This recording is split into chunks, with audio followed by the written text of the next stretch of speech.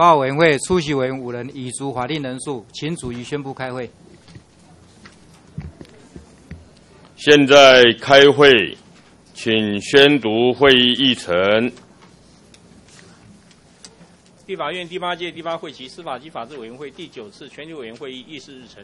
开会时间：一零四年十一月二十五日星期三及二十六日星期四，上午九时至十二时，下午二时三十分至五时三十分，两天一次会。开会地点：红楼三零二会议室。报告事项：宣读上次会议议事录。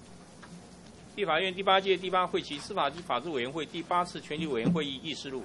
时间：中华民国一零四年十一月十六日星期一上午九时十三分至十二时三十二分。十一月十九日星期四上午九时至十一时五十一分，地点本院侯楼三零二会议室。出席委员吕委员学长等十人，列席委员徐委员天才等二十二人，列席官员十一月十六日星期一部分，国家发展委员会副主任委员林林环，行政院人事行政总处副人事长朱永龙，公务人员保障及培训委员会副主任委员李松贤等二十六人。十一月十九日星期四，法务部政务次长林辉煌等十三人主席，与召集委员学章。报告事项：宣读上次会议议事录，决定确定。讨论事项：十一月十六日星期一部分，一并案审查委员吕学章等二十四人及委员邱文燕等十七人分别拟具行政院功能业务与组织调整暂行条例第二十一条条文修正草案。二审查委员李桂明等二十一人拟具公务人员保障法第七十六条条文修正草案。三、审查谢平全军等四十八件请愿案。本日会议有委员吕学章等八人提出质询，委员林昌敏提出书面质询。决议一、报告据询答完毕。二、第二第一案及第二案进行逐条审查。三、行政院功能业务与组织调整暂行条例第二十一条条文修正草案。草案第二十一条，照委员吕学章等二十四人提案通过。四。公务人员保障法第七十六条条文修正草案，草案第七十六条除第一项文字邮政机关修正为邮务邮务机构外，于照案通过。五以上二案均审查完竣，拟具审查报告，提请院会公决，不需交由党团协商。院会讨论时，由吕召集委员学章出席说明。六谢平全军等四十八件请愿案，各案均不成为议案，依立法院职权行使法第七十六条第二项规定处理。续明理由及处理经过，送由程序委员会报请院会存查，并通知请愿人。七、委员质询时要求提供相关资料或以书面答复者，请相关机关紧速送交个别委员及本委员会。提案一案决议，照案通过。十一十一月十九日星期四部分，并案审查行政院函请审议法医司法部分条文修正草案。委员以林代化等二十一人拟具《法医司法》第三条及第四十八条条文修正草案，及委员严宽恒等十九人拟具《法医司法》部分条文修正草案。五、审查行政院函请审议《犯罪被害人保护法》第三条条文修正草案。本日会议由委员严宽恒等六人提出质询，委员林昌敏提出书面质询。决议报告及询答完毕，进行逐条审查。法医司法部分条文修正草案及犯罪被害人保护法第三条条文修正草案均另定期继续审逐条审查。三、委员质询时要求提供相关资料或以书面答复者，请相关机关紧速送交个别委员及本委员会。继续宣读本本本次会议讨论事项：一、审查行政院函请审议行政程序法第一百二十七条及第一百七十五条条文修正草案。二、继续审查行政院函请审议《犯罪被害被害人保护法》第三条条文修正草案。三、继续并案审查行政院函请审议《法医司法》部分条文修正草案。委员林代化等二十一人拟具《法医司法》第三条及第四十八条条文修正草案，及委员严宽恒等十九人拟具《法医司法》部分条文修正草案。宣读完毕。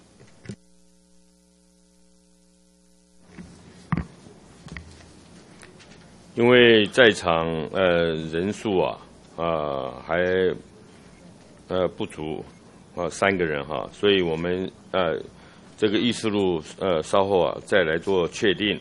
现在来介绍在场的委员及列席的官员。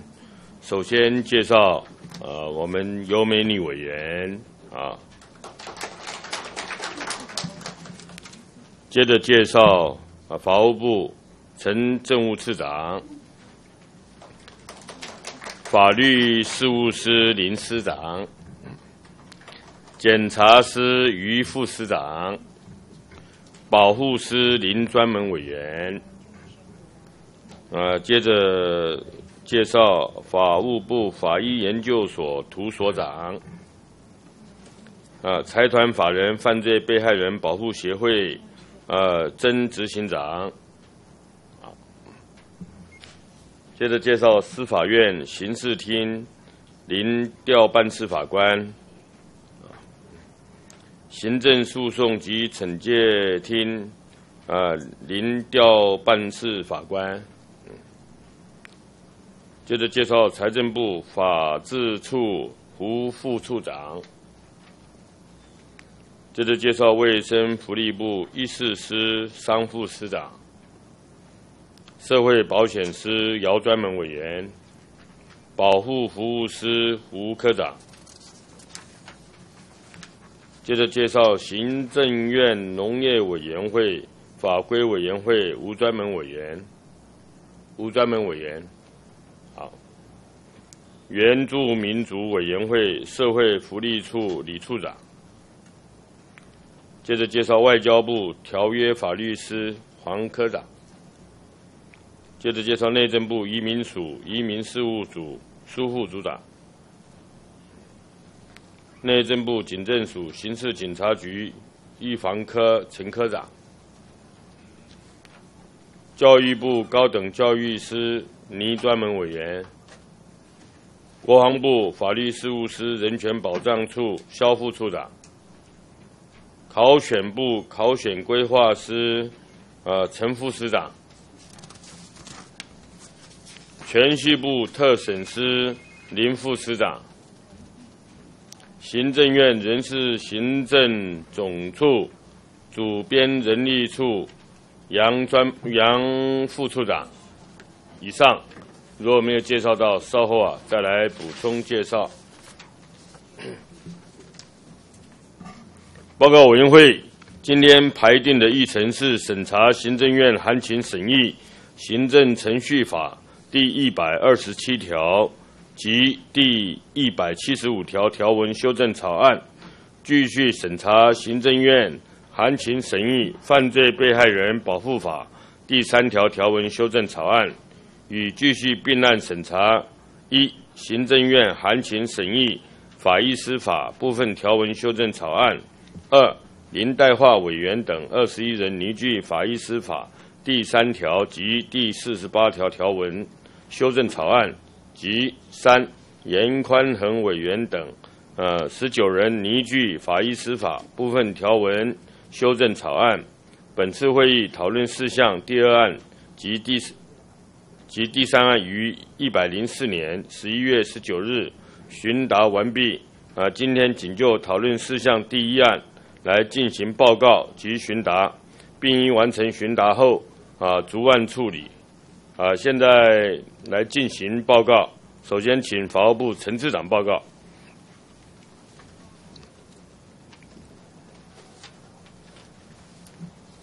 主席、一委员、各位先进。呃，本次首先就呃本部行政院函请审议的行政程序法第一百二十七条、第一百七十五条条文修正案，先做报告。那今天奉邀列席司法及法制委员会审查这两个法案，呃，那有关于行政程序法第一百二十七条是规范有关于提供一次或连续的金钱或可分物授予利益的行政处分，经过撤销就是被撤销废止或条件成就而有溯及失效，或有行政处分经确认无效的情形，啊，就是失效无效情形时，因为受益人。他所领的过去所领的可能有不当得利的问题，所以应该要返还。关于这个不当得利，应该要怎么样请求呢？在过去实物面的话呢，就是在撤销废止等情形之下，同时命他返还啊。那他如果不返还的话呢，就可以依依照公法上积年给付而呃义务的这个这个执行呢，送给行政执行署来执来执行。那可不可以做成行政处分命即返还呢？或是要提起一般职务诉讼，在现行的协说实务见解呢，原来就有争议。那实务见解而言的话呢，高等行政法院的一百年法律座谈会多数认为说就可以直接来命返还啊，但是认为行政机关可以做成行政处分命受益人返还，但是呢，最高行政法院在今年一百零四年六月份第一次庭长法官联席会议决议时，他认为说现行的行政程序法或相关法律的条文，对于前述有关经撤销废止或调整程序或是无效等等情况之下呢，这个条文的话呢，啊，并没有明文规定可以命返还的规定，而且认为说行政程序法第一百二十七条呢，是从德国联邦行政程序法第四十八条规定演变衍生而来，但是呢，在德国联邦行政程序法第四十九条之一的第一项后段有规定说，那机行政机关因返还的给付呢，要以书面的行政处分来核定。有就要书面命返还的意思。那呼吁行政机关呢，利用行政处分来命给这个人民呢，啊，就是不当得利的人民给付的这个法律基础。那这个也就是说呢，针对原先的见解呢，争议的见解，采取否定的见解。有鉴于最高行政法院的决议呢，表示的法律见解对于司法审判实务呢，具有事实上的拘束力。那法务部呢，为了这个解决各行各行政机关。将来如果对于不当得利哈的缓还都要用诉讼请求的话呢，动辄可能拖到半年到数年才能够确定。这种情况之下呢，让不当得利者可能他因而脱产，好，因而这个有其他缘故造成无法返还啊这个金钱等等这些义务的这这个困难。所以呢，参考联邦行政程序法第四十九条之一的规定，第的在。本法的现行本本法的一百二十七条修正条文中，增列第三项，也就是说呢，行政机关依前两项请求返还的时候呢，应以书面行政处分确认返还的范围，来限限期命受益人返还之。啊，这样的话呢，也就是维持原来。的这个实务上的见解，在法律上呢加以补充，以度争议。同时配合第一百二十七条的修正，呃一并修正一百七十五条，增加第二项有关于施行的日期啊的部分。以上报告，敬请各位委员指教。那另外有关于这个法医司法跟犯罪保法的修正部分的话呢，呃已经这个前次上个礼拜已经过答询了希望委员能够支持，呃谢谢。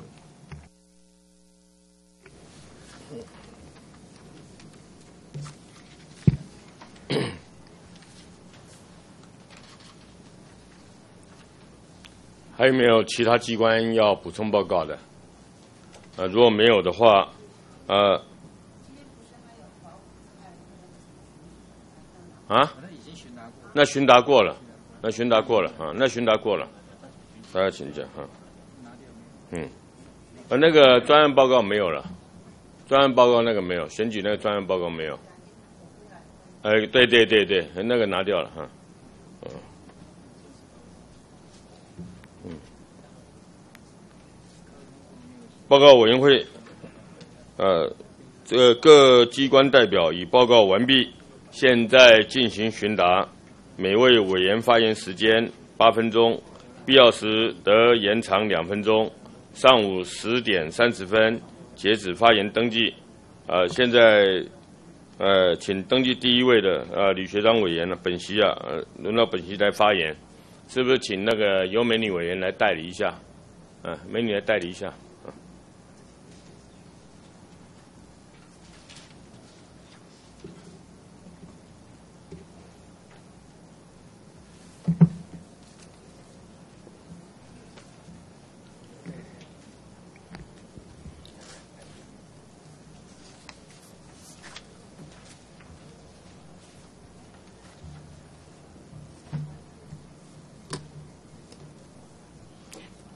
下呃，第一位我们请李学章委员发言。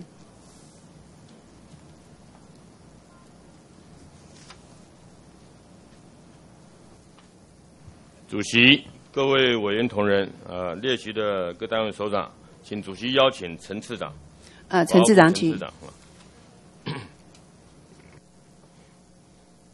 委员长。呃，次长，我们今天谈的是行政程序法部分条文的一个修正草案嘛，哈。那我们要提到的就是说啊，最近这呃这几天呢，那个台大法学教授啊林义雄，跟彰化地方法院法官李善植，及检改会啊发起人检察官啊陈瑞仁等人纷纷呐、投书媒体，针对民间司改会成立司法阳光网站，公布司法官的奖惩记录、以往的言论、起诉和裁判新闻等资料所引发的这个争议啊，痛斥司改会是丑化啊这个司法未审先判、司法霸权，让人民动摇对司法的信赖等等啊。司改会也不服气的抨击法务部反改革，很可耻、可笑。针对审检呐、跟司改会在媒体的比战呐哈、法务部罗部长也跳出来说，司法阳光网会让司法体系崩坏。以本席的立场来看，啊，不论是法务部、司法院及民间司改会，甚至是本席跟在座的本院的所有的立法委员，大家其实应该要携手合作啊，促进司法的改革。大家不是敌人呐、啊，都是为了司法制度更完善，让民众可以接受公平的审判。人权呐、也可以获得保障，啊，怎么搞得剑拔弩张呢？啊，陈次长，您的看法？啊，阳光司法网是不是真的会造成司法体系的崩坏？说明一下。啊，委员刚才所提到的委员的见解，我们是表示赞同。审检辩学本来就应该在司法改革路上呢，要携手合作，让我们的司法能够更更往前迈进。但是这一次会引起风波的民间司改会，啊，那民间司改会需要监督司法的改革，这一点法务部是赞同的，要监督。但是监督的方式有很多种。那这一次引起风波的是在于司法阳光网把这个法官、检察官的个人的隐私，尤其把过去有一些外面的风那个风风雨雨的事情啊，或是所谓讲的没有经过查证，纵然经过查证，有需要把这个陈年往事再放在这个公开的网站上面让大家去批判吗？同时，他们还说后续呢还要让人民来批判，那等于说法官、检察官以后是不是要每天的上网去看看有没有人批判我，我去答辩？那这样对司法的品质会有增进吗？同时呢，这所谓要透明化，要这个呃阳光化，这一点我们也是赞同。但是呢，应该监督是在个案的审判上面，在个案，因为法官不以，检察官也不宜，在这一波语讲话那个语了哈，不讲。那所以呢，应该他表现在他的审判文书上面、审判过程上面、侦查过程上面、侦查文书上面来做啊，这个个案来做处理，而不是说广泛性的把他过去的隐私、个人的这个资料通通拿出来。我们认为说这不合乎各自法的目的性、收集的目的性。如果依照那个呃呃他们这样的一个网站的一个建立，有没有涉及个资法的相关的疑虑啊？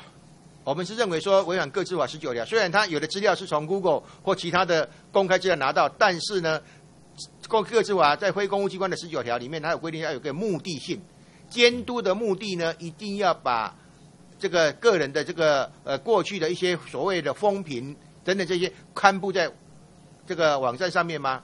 哦，我觉我们觉得这个这个目的性不对。第二个，第二个昨天我们检察官协会也也提出来，有九百七十二位检察官，包括检察总长，他们要求依照个资法十九条第二项的要求下架，因为在这里面牵涉到他个人，当然不见得是总长了哈，就是所有检察官，我们在这个以检方来讲，九百七十二检察官说跟我的个人隐私有关，比方说侦查起诉了或是不起诉了，都有可能会有两边，审判可能也有原告被告两边，这边的话呢，败诉的一方是不是心有不满？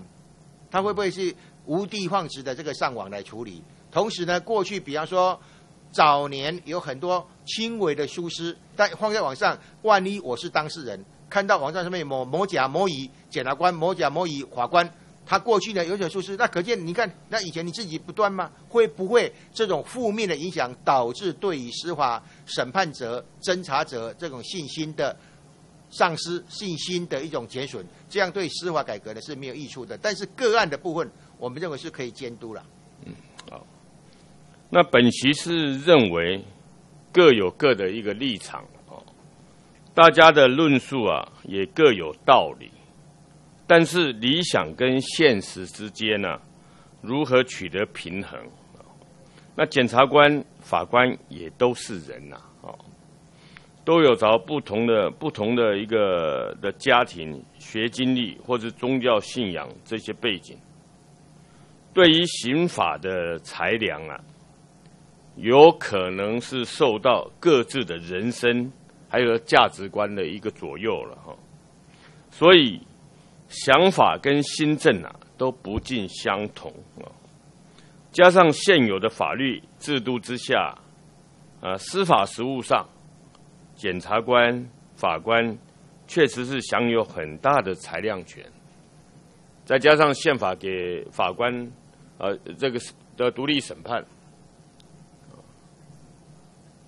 所以啊，在这样一个情况之下呢，会导致的现呃现在民众啊对于司法的呃不信任及司法官啊滥权的啊这样的一个疑虑，比方说检察官的啊滥行起诉啊滥呃滥行呃上诉啊啊压人取供，这都是大家一致诟病的一些问题嘛。呃，所以希望法务部跟司改会也都要去想一想一旦有了权力之后啊，是不是忘了初衷了？啊，是忘了初衷。一旦在自己的位置上，啊，是不是有了本位主义？啊，其实大家可以好好去想一想。那司法改革确实是没有办法一触可及了哈。本期在立法院第七届后的委员会，呃，这个我在司法法制也待了，等于是十四个年头了，啊，苦守寒窑啊，这二十八会期，不是十十八载啊，是二十八个会期，有幸参与了这个多项的司法改革。呃，包括刑法、呃刑事诉讼法、法官法、诉审法啊等等啊，亲自体会到司法改革其实是一条漫长艰辛的路了啊。本期在这里要呃勉励啊呃全国的检察官跟法官啊，这几年呢，社会大众对于提高法官、检察官的素质。跟裁判的品质，他要求的声浪是非常的高哈。检察官也必须要自我要求。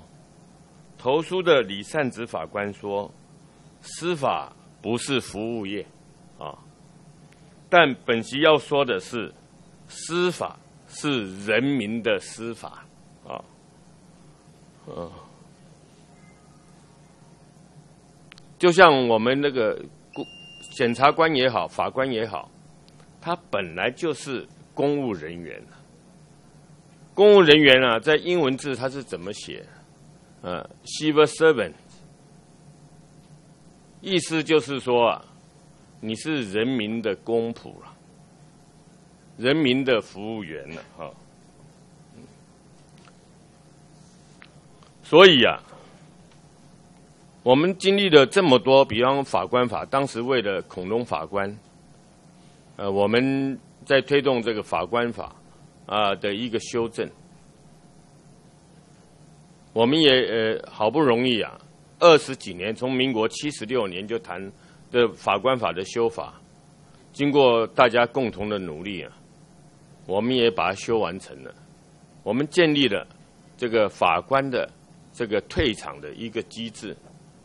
甚至呢，我们增加了针对呃这个团体绩效的一个评比，啊，就是 performance appraisal 啊，类似这样的一个评比，让各级法院的院长或是同才之间呐、可以对呃对自我的要求，对这个机关呐、有团体的一个精神，不会因为宪法给我保障，我是独判呃独立审判了、所以就唯我独尊呐、谁都呃呃，所以像类似这些东西啊，我们都克服了万难，啊，把它修修订完成。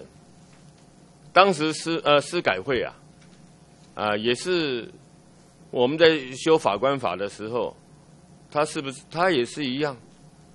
他动作非常的多，他提了很多呃什么检察官法，啊，或是说司法官法。如果当时我们没有坚持，依照司改会的这样的一个呃呃积极的要推动这个检察官法，那我告诉你，如果我们当时没有坚持，放在这个法官法里面有一个专章的话，呃，就是比照法官的话，那今天呢、检察官已经不是检察官了，他是司法行政官了，对不对？他是变成司法行政官哦，那整个是不一样的，那是天翻地覆的。我们现在合考合训的一个情况之下，啊，可以自由选择，但是他享受的待遇跟福利是一样的。虽然机关有别啦，一个是在司法院，啊，是一级机关呐、啊，一个是在呃法务部啊，啊，它是政府的二级机关，啊，当然是有别，但是他的待遇跟福利啊，呃，跟他的权限、权，他的业务的执掌当然不一样，但是他的待遇跟福利是一样的，他一样是享受法官的这样的一个权利，所以我们必须在思考。像我们司呃司法法制委员，我们包括立立法委员在内，我们自己都每次在审查法案的时候，我们都会站在一个立法的高度，啊，去看人民的需求是什么，社会的反应如何，再加上这个行政机关的一些专业的考量，啊，所以政策推动的一些考量，我们一定会综合这些意见啊来做一个处理。啊，并不是说啊呃人云亦云，该坚持的部分我们还是会去坚持。啊，我就举法呃法官法的例子为例嘛，啊，所以呃，所以我要说的就是说，我们不用想要去消灭司改会，呃呃，因为没有十全十美的制度跟法律，呃，只要有司法存在的。一天就会有改进的空间呐啊！本席相信，唯有审、检、辩三方及司改会啊，大家携手合作，台湾的司改司法才会越来越好了。那期许法务部跟司法院啊，建立完善的检察官、法官培训。跟养成的一个制度，以积极的方式来提升法官的素质，相信这才是釜底抽薪、推动司法改革的一个良方之一啊！啊，这一点呢，希望法务部啊可以听进去了啊，好不好？好，好好，这个谢谢叶委员指教。那这一部分的话呢，这个我们不是说不受监督了，因为绝对权力会绝对腐败。啊，那法务部呢，一向站在改革立场呢，我们要往前推，所以委的指示指教呢，我们会虚心的接受。那关于跟是民间司改会，我们不是要消灭民间司改会，我部的罗部长也要求，上个礼拜就要求说，我们找个机会要去跟拜访民间司改会，双方做对谈沟通，希望呢大家在这一方面呢，能够有进一步取得的共识跟改进。谢谢。民间司改会其实自己本身要去检讨了，哦，他作为一个司法人。利用这个呃呃这个司法阳光网站，你要知法违法，弄法吗？对不对？我我是觉得他自己本身也必须要去检讨。是是没错，哎，当然，呃罗部长话也讲的比较重一点了哦，好不好？好，谢谢。谢谢。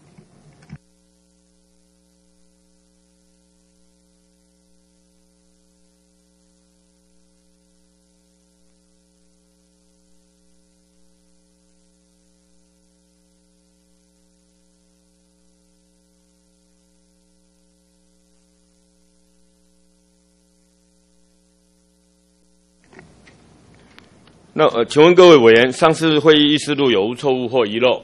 如果没有，呃，我们宣告，呃，主席在这边宣告哈，议事录确定。呃，接着呃，请蔡其昌委员发言。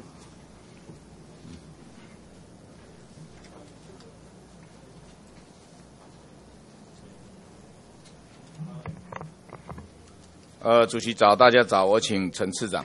请陈次长。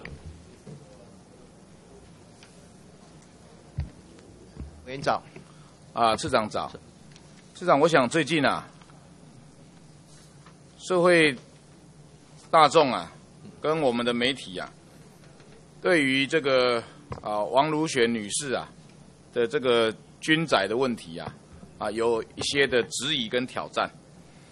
那本席啊也去函呐、这个法务部啊，来询问有关我们这个黄东勋检察官呐、啊，他入住法务部宿宿舍的这个问题。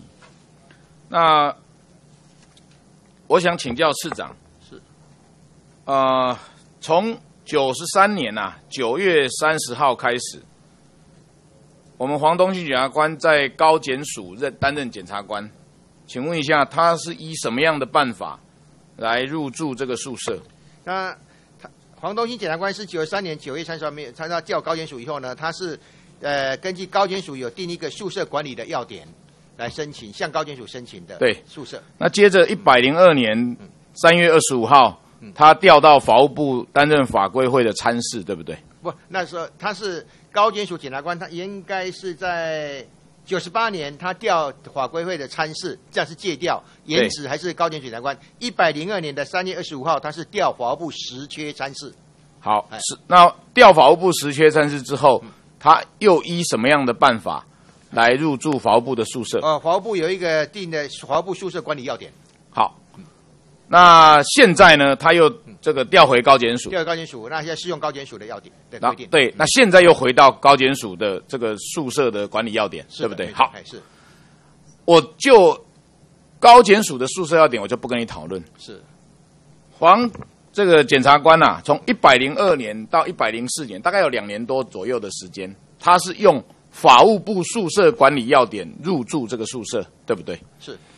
那我看了一下你们的这个宿舍的管理的要点呢，这个要点当中很清楚，这个要点当中呢，他你们引他引的是法务部给我的资料是法务部宿舍管理要点的第五点第一项的但书规定，市长对不对？是哎，没错，是好。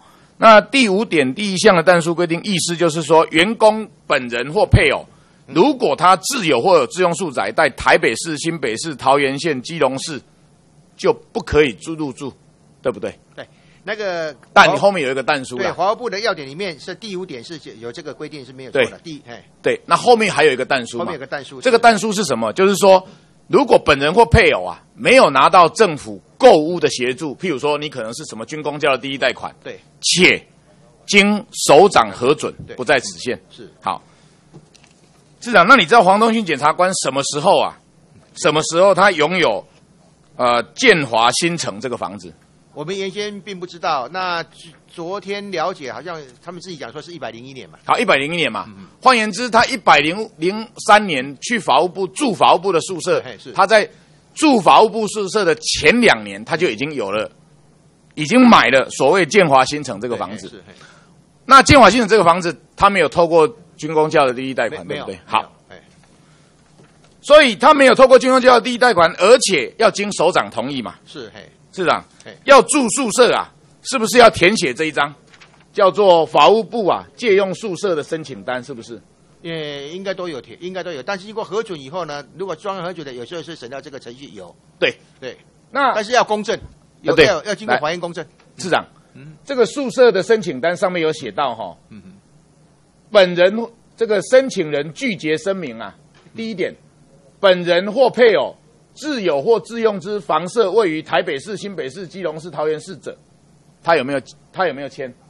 这个昨天晚上哦、我们初步的了解了，那个黄东检察官的部分呢，他是用，因为他改掉参事是哈、那所以是用专签签给部长首长核准的方式对处理，所以没有填这，应该是没有填这个申请单，这个是一般的申请，好，他没有填这个。应该没有。那他的他的这个报核里面呢、哎是他有没有跟部长讲说，他在一百零一年呐、在台北市已经有了房子了，有没有？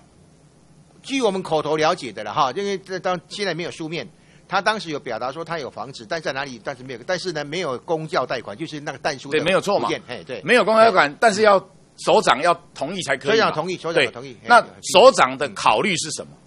当也就是说，他已经有房子了哦。是是他一百零一年，我不知道他有没有骗法务部当时的法务部长啊？当时法务部长是谁？曾永富曾永富曾部长。对，我不知道他有没有骗曾部长。也就是说，一百零一年已经有房子，一百零三年还要来住法务部的宿舍的低价宿舍了。嗯嗯。那有两种情形嘛，一种就是说他骗法务部长，他没有告诉法务部长说我在一百零一年在台北市我已经买了房子，所以我不符合住这个低价宿舍的要件，这是一种。所以法务部长不知道嘛，所以法务部长就签了，就同意让他在住了。第二种情形呢是，他有跟法务部长讲，那法务部长也签了，明明知道他在台北市有宿舍，哎，台北市有自己的房子啊，但是也签了。嗯，市长，你觉得部长是哪一种状况？我想黄东兴检察官的个性哦，他大概不是用骗，不会用骗，不会用骗的。哦他把本身还是老实人的，所以哦所以他讲了哎他讲实话。可能有讲说，但是呢，当时部长的考量呢，就是当时首长的考量啦，因为是中医程序也是是是市长，是是因为我不是我批的哈，是是。也市长就批，当时是借用他的，因为他本来是借调期满四年嘛，那时候四年啊，那因为。他原来住的是高检署宿舍，我们那个这个宿舍原先还是高检署，我们是向法务部向高检署借借过来的，借过来给他继续住的了哈，是。所以是用高检署的宿舍来，呃那我们呢那那首长的批准的。是啦，所以我的我要问的意思是说，好，我假设黄检察官他真的没有骗法务部长，嗯，那你觉得曾部长啊，基于什么样的考量，他会特准一个在台北市已经有房子，但却不愿意去住这个房子，要去住低价的法务部宿舍？你觉得他基于什么样考量我想还是基于照顾同仁的啊？照顾同仁，哈换言之，以后法务部的同仁只要提出这种申请，你们都要准哦、不一定不一定啊？定为为什么不一定？因为哈，因为是不是因为他他他太太叫做王如选？应该不会啦，是是马总统的爱将啊不会不会，所以呢，他因为他已经贵为贵为这个这个这个劳委会的主委啊，是是马总统这个钦点的爱将啊应该。不会的，我们不会这样考量。市长，其他的同仁我要替他们讲话哦。是是其他的同仁以后你们法务部部长都要准哦，不能高官的高官呐、高官的先生啊，这这个特特特殊我们就准了啊。其他一般我们这个同仁啊，哎，拍谁哦？你你没有一个部长先生呐、你或者你没有一个部长太太，所以你你你不可以啊。我我我我想要问的是，法务部的标准是什么？这个法务部的标准就是说，如果我刚刚讲，如果黄检察官，我们第一种状况不考虑，就他真的有跟部长讲，跟曾部长讲说，哎，我真的有房子，他没有骗呐，他没有骗，他真的假设他真的有讲，那法务部基于什么样的考量，会让他在台北市有房子，还可以住低价的宿舍？好我觉得法务部应该跟社会大众说明清楚、哎、哦，当时是因为据我们现在所知道的了哈，因为黄检察官呢，他本来是那个借调他参事期满，本来要回要回去高检署的。那因为有业务上的需要，希望他继续帮忙。那他如果直接到法务部来的话呢，他原来高检署的宿舍就必须交还嘛，啊、那当时是法务部呢有跟高检署寄把原来高检署的管理有，就这栋房子了哈，这栋房子本来就高检署的，跟高检署借用，借用呢这个移到法务部来。移到法务部来的话呢，让他能够继续住，是应该是这样考量。那将来他回去高检署的话呢，他又依照高检要点本来就没有这个限制嘛，啊，是这样的考量。我想市长。部长是基于好意啦，哎市长，嗯，我应该不是是为了高不是为了黄我我黄如雪女士。我只是要点出啦，是。你们这么大费周章，是。这么为黄检察官想，一路调升，然后呢，我们还要考虑他宿舍这一栋宿舍，一下高检署管，一下又法务部，一下又考量他又又有什么困难，所以呢，你们一路签一路准。我相信法务部的同仁，如果大家都可以得到黄检察官这样的对待遇，我相信法务部是一个大家最爱去的地方啊！大家一定会这个这个感戴啊部长的这个恩泽啊！是委员这个指教，我们以后会在呃后市长接下来我要讲给你听啊，是理由是什么？你知道他们买了这个建华新城啊？我上网查一下，你知道它租金多少钱吗？不知道不是，来，我跟你，这个直接从网站抓下来。是他每个月的租金有两万九千块嘛。嗯，换言之，我买了这个建华新城，我把它出租出去，我自己不住，我出租出去有两万九千块的租金呐、法务部的宿舍的租金多少，你知道吗？啊，我们是按照平数来计算啊，对哎，然后我把它统计了一下，这个是王如雪女士自己提供的。前面三个才叫租金呐、瓦斯、水电费也拿出来讲，自己房子的这个装潢也拿出来讲。哎，市长，我不知道呢。我审预算的时候，明明看到法务部每年编修缮费呢，来帮忙修这些官舍呢。法务部编修缮费，人家王如雪女士说她自己要修呢，你们的钱用在哪里呀、那跟委员报告一下的，这个王王如贤律师他怎么讲，我们先不管他。我们华务部的立场来讲的话呢，我们并不是收租金的哈，因为行人事行政总处就是过过去的人事行政局呢，在一百年才曾有个解释，公有宿舍不是收租金，叫使用借贷，使用借贷本来是无偿，那没关系。那但是呢，后来行政院也要求说，使用公有宿舍的话呢，那应该要付管理费，我们叫管理费。所以管理费呢，过去的话呢，哎，没有统一规定，在一百零四年的十月份，行政院有统一规定，对按照平数来。所以之前我们呢收的一千五百一，应该是一千五百二十二是没有错。在一百零四年十月以前，法务部呢按照行政院的要求，我们自己定是收了一千五百二十二块。那这个租金其实我们没有收租金呢，应该是原来呢公务员的加级里面呢有含房租津贴，那七百块是房租津贴啦没有错了那不能领扣回来了，你租金。你只是要跟我讲说这些科目对的，方式可能不是这样子的，对对对。钱有没有问题，金额有没有问题？那个应该是七百块加一五二二，现在是一现在的计算是二一五九。二一五九嘛，对现在是二一五九对。啊加管理费这个分担管管理员薪水一千五，这个对不对？哦，那个是他们自己的到楼管理委员，但是到楼管嘛，啊，楼管那个那个不是交给国家，我都给他算进去了，嗯嗯我都给他算进去了，嗯加一加夯不啷咚不到五千块嘛，对不对？租两自己买房子不住，租两万九千块出租出去，来自己住法务部的房子，五千块不到，社会可以接受吗？这是官瞻吗？这是官真吗？这个社会的观感好吗？人家一路就是这样子啦，我为我们的同仁抱不屈啦，抱屈啊，抱不平啊。我们的同仁可不可以用同样的方法？大家自己买了一个栋房子，随便租在台北市，也可以租好几万啊！啊，我来租法务部，自己住法务部便宜的宿舍，租金很低，然后把贵的房子，哇，租金就管，探这差价，两万块嘛好呢，蒙穷呢。社会可以接受这样子啊？这个人说要现在要来竞选副总统，社会可以接受吗？我不谈法律啦，我姑且这个法律是你们法务部整个检调单位、司法单位的事情嘛。我只讲基本上心态是什么。一个当到国家部长级的人，现在有可能问鼎国家副元首级的人的家庭在做这样的事情，这个社会可以可以接受吗？就算我通通把它算进去了，他这个房自费房屋整修每月摊提五千块，所谓整修费用六六十万，这六十万是什么？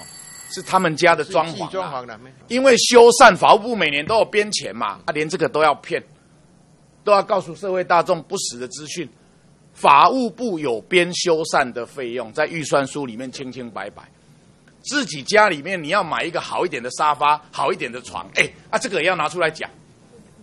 就算我讲他的一万一万块好了啦，不要讲那个五千块不到的了，讲一万块好了。租两万九，好不好？来来，赚两万九进来，去花一万块去租法务部的便宜宿，去去住这个这个这个公家的宿舍，这个社会不能够接受啦。所以市长，我想哦，这个怎么签的，曾永夫部长也也不在位置上了，但是我觉得这个观感非常的不好了，因为有一个他的太太是马总统的爱将，是劳委会的主委，是部长级的。所以我们一路就当他们家一路这样子，哦，一路礼遇啦，一路开绿灯，让他们可以一路住住下去。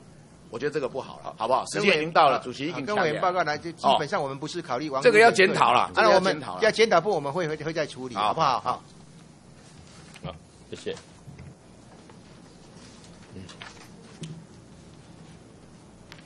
接着，请由美女委员发言。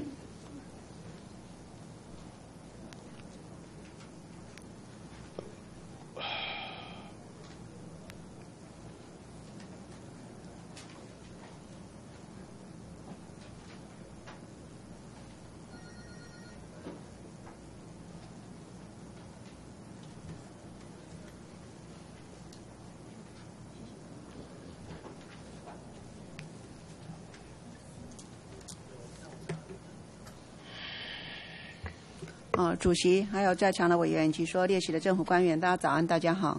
主席，我们是可以请我们的陈次长，请陈次长。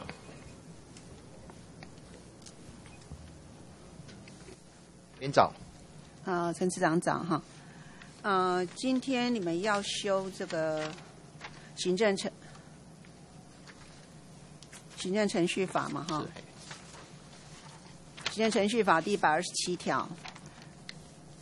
那这一条呢，看起来好像是很简单，好像是当年在立法的时候，那没有把这样的一个所谓的受益处分，那将来你要把它追回来的这样的一个啊轻易处分呢，啊，把它做一个到底能不能下一个行政，好，能不能下一个行政处分，直接把它追回来，这样看起来很简单的一个问题，但实务上呢，其实啊，刚刚你们的理事长呢也来讲说，哎。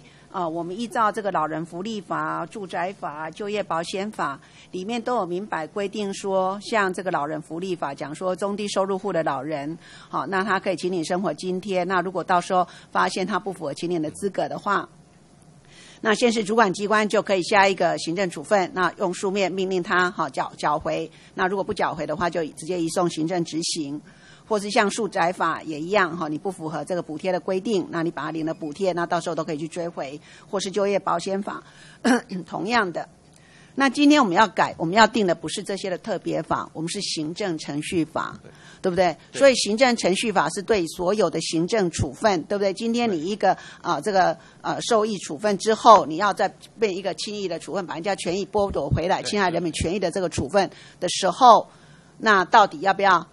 这么的把它规定下去嘛，会面对全部的。那其实呢，我们也知道说，你们现在法务部其实也组成了一个对行政程序法的一个专案修法小组嘛，对不对？所以呢，表示说这个行政程序法当年修订之后到现在，其实里面的整个一个体系是非常混乱的，应该定在总则的部分没有定在总则，定在分则里面。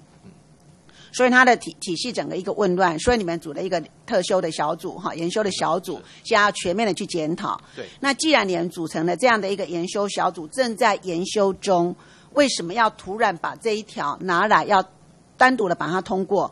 而且说实在的，这个条文原来在法院的见解里面真的是分歧的，因为这里就是说，好，今天我一个这样的一个收益处分去之后，那我发现有错误了。所以呢，我要去把你这个我给你的这个钱，我今天要去把它追回来。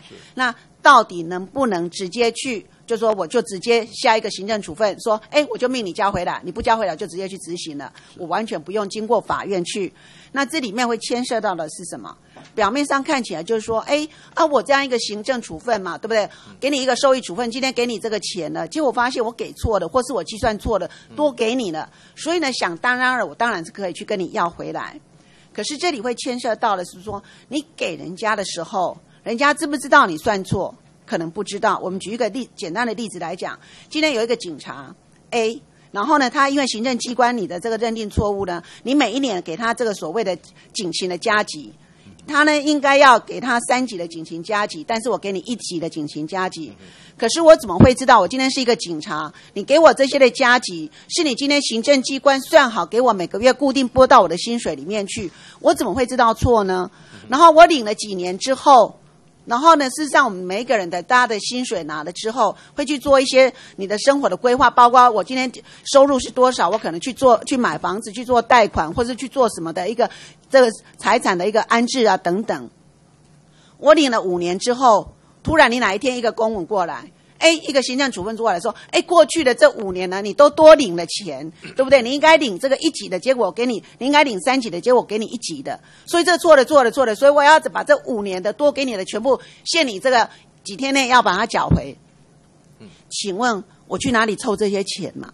那我怎么会知道你算错？算错，你经过五年你才你讲算错，哎，这些公务员全部让你捆呐，对不对？那你们在睡觉的公务员。为什么就要牺牲我人民的权益？我完全无预警的情况之下，当初你要给我的也是你告诉我说我符合这个规定，所以给我，然后给了给我了五年之后，突然一天又一个行政主任说抱歉，我们算错了。那你算错就叫我一夕之间就要把这个钱还回去，我被打刑家警出来，对不对？我们再来看，在实务上也发生另外一个例子呢，啊，就是这个台中地方法院的一个案例。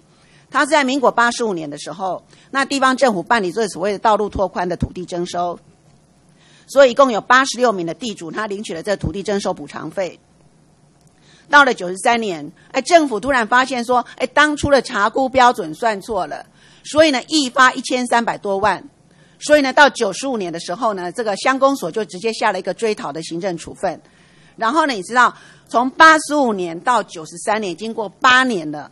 才告诉人家说，哎，八年前我给你的花花花的这个补偿金呢，算错了，说要把你们全部追回来。然后你算错了，到九十五年，等于七年后被救人马上拿吐出来。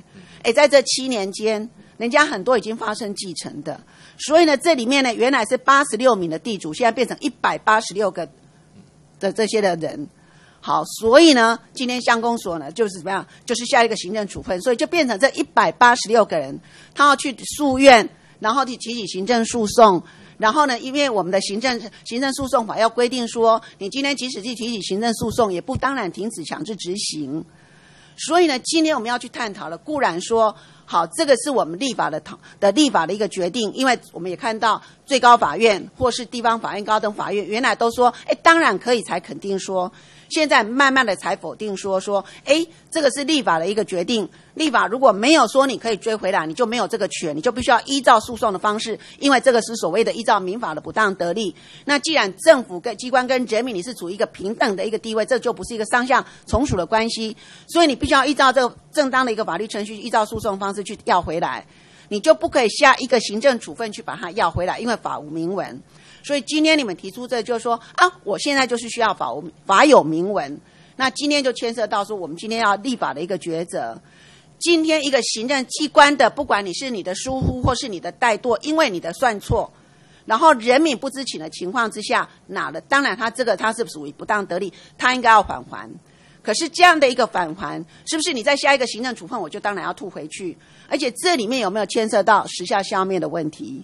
对不对？有没有牵涉到人家信赖意义的问题？有没有牵涉到你诚信原则的问题？那这些你们一概不管，就是说，哎，请你们给我一个三方保荐，我就可以去把它追回来。你想这样合理吗？跟各位跟委报呃委员所疑虑的这一部分的话呢，我们不是没有考虑，我们不是放在这一条，我我们也提到我们的修法小组去。啊，后来研究结果说，这个的会这个到底是说能够追回多少？有没有时效问题？有没有故意过失或无过失的问题？啊，像这些的话呢，似乎的话，因为我们要放在一百，而后呢放在一百一十七条、一百一十八条。一七一八，那你就等到完整的修法之后再一起送进来。为什么今天要突然一条，对不对？完全没有配配套措施，而且是在整个一个体系混乱的情况之下，突然就要送这个法来，叫我们要把它修法通过，跟委员没道理吧？这一个不是这个这一项的话呢，是一个说现行的做法，我们让它能够有法律的明文，因为这里面说那个确认返还范围限期，这个是一个处分确认。那个一个一个处分。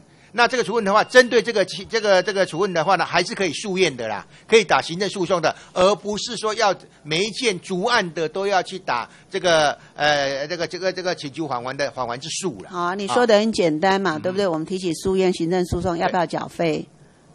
要不要缴费？诉愿没有不用缴费啊。那行政诉讼要不要缴费？行政诉讼的话，那不是那如果说还要酌减等等这些话都可以考量啊。但是？要不要？那为什么是这个不利？第一个是错的是行政机关，错的是行政机关，为什么不利益归于人民？为什么不是不利益归于政府机关？没有，如果败诉的话是是不是啊？那今天谁要先缴费？对不对？今天提告的人要先缴费呢。那今天错误的是行政机关，结果变成我不利，对不对？行政机关你做错了，结果把不利归给人民。我们的不见得是行政机关错误的哦，有的是有的绝大部分不是行政机关错误的啦。呃，不是我所谓错误的说，绝大部分的话呢，行政机关可能就误花了，那不是行政机关误花，不是行政机关错误，误花就表示你审查错误啊，除非说他是伪造文书嘛，对不对？那伪造文书另有法律的根据嘛，对不对？如果跟没办，如果这个条款没过以后呢，增加法院的诉讼案件反而增多。不会啊，你今说实在的啦，因为我们一直在讲说，你今天要修改任何的法律，应该要法规影响评估。你们有做法规影响评估吗？这个是现行法就这样做，现在做法是这样，我们只是把现在做法。我跟你讲了，你们现在的做法已经经过法院都给你们驳回了。现在我们从这个网络上去找，对不对？你们应该做的工作不去做，然后没有任何的统计数字，我们只好用反面理论这样的一个这四个字上去上网去找，我们就找出地方法院、高等法院跟最高法院一共有五十件的判决。嗯。这五十三件的判决里面，其中五分之三现在都才否定说，都认为是你们行政机关去提起诉讼，而不再是认为说你们行政机关当然可以去把它要回来，并不是说。一定要进去，就是说，因为法无明文嘛，没有错啊。所以最高行政法院一百零四年，所以今天，所以我们今天就是要去探讨，就是说，那立法者的意思是什么，对不对？那立法者的意思就是说，好，当今天发现一个错误的时候，那这个错误是来自于行政机关。当然，你说好，他今天用诈欺的方式，那个是另外的另外的法理的处理。今天是因为行政机关你的疏忽、你的错误，然后造成，或是你的估算错误，或是你因为因为疏漏等等，对不对？你审核不周，所以或是你故意放水。等等这些的情况之下，然后造成的错误，一造成的一方，那这样的一个不利益，到底要归谁？这个在立法技术上面呢，可能我也要考量一下，说成本的花费了。如果逐案的话，行政机关不要去做，他逐案要去行政机关起诉的话，我不晓得行政法院。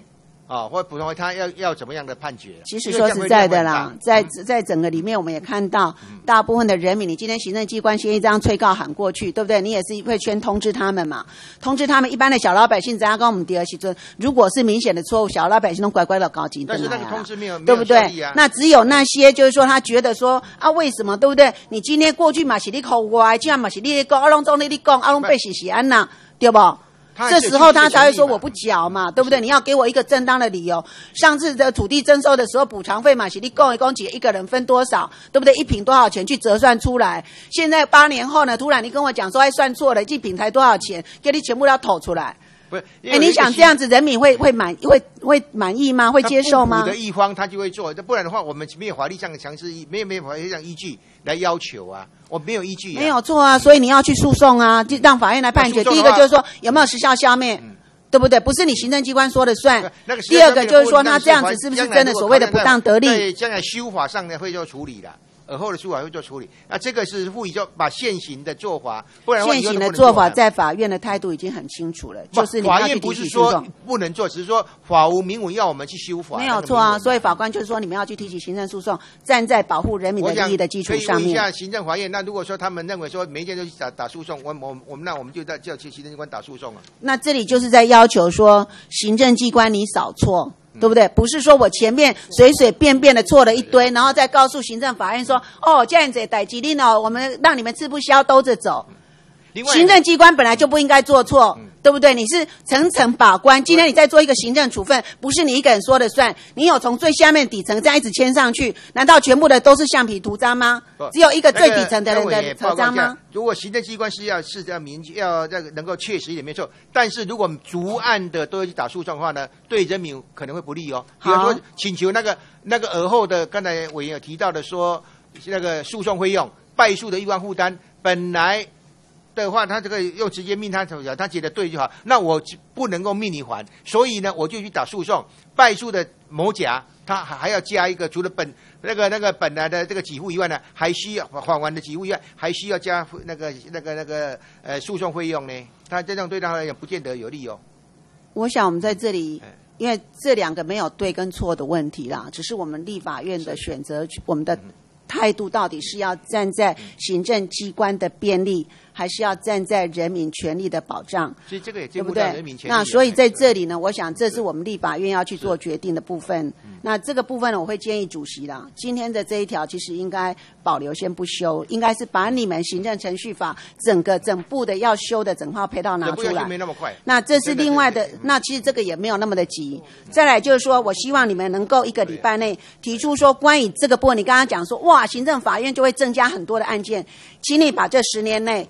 因为行政机关的错误，一个收益处分的错误而需要追回。如果其他法已经有特别法的那个不算，就是说，因为没有特别法需要用到行政程序法，因为你们的收益处分错误而需要去追回的这些案件里面到底有多少？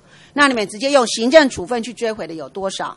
需要经过诉讼的去的有多少？请你们把这些统计数字给我们，因为我们所有的立法，我们必须要非常慎重的去看说，这样的一件事情在实务上到底发生了什么样的情况，不是在这里各说一件，各说几件嘛，对不对？我们两个吵了一个礼拜也吵不完的，反正你你坚持你的，我坚持我的嘛。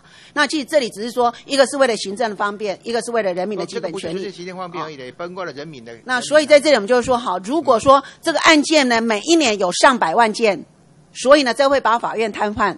那我们就说好，那这部分可能要怎么样修？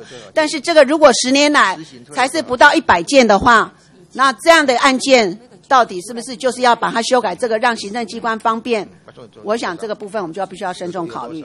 所以我本席建议说，今天我觉得这个还是太草率的一个法案。因为啊，跟委员报告，因为过去的话没有这种统计的，因为以前的话，法院呢，他并没有说逐案的都说不能够来请求。那你就把那些给我啊！过去法院的判决，你们总要去 research 吧，对不对？我们都可以做到，你们不能够做到。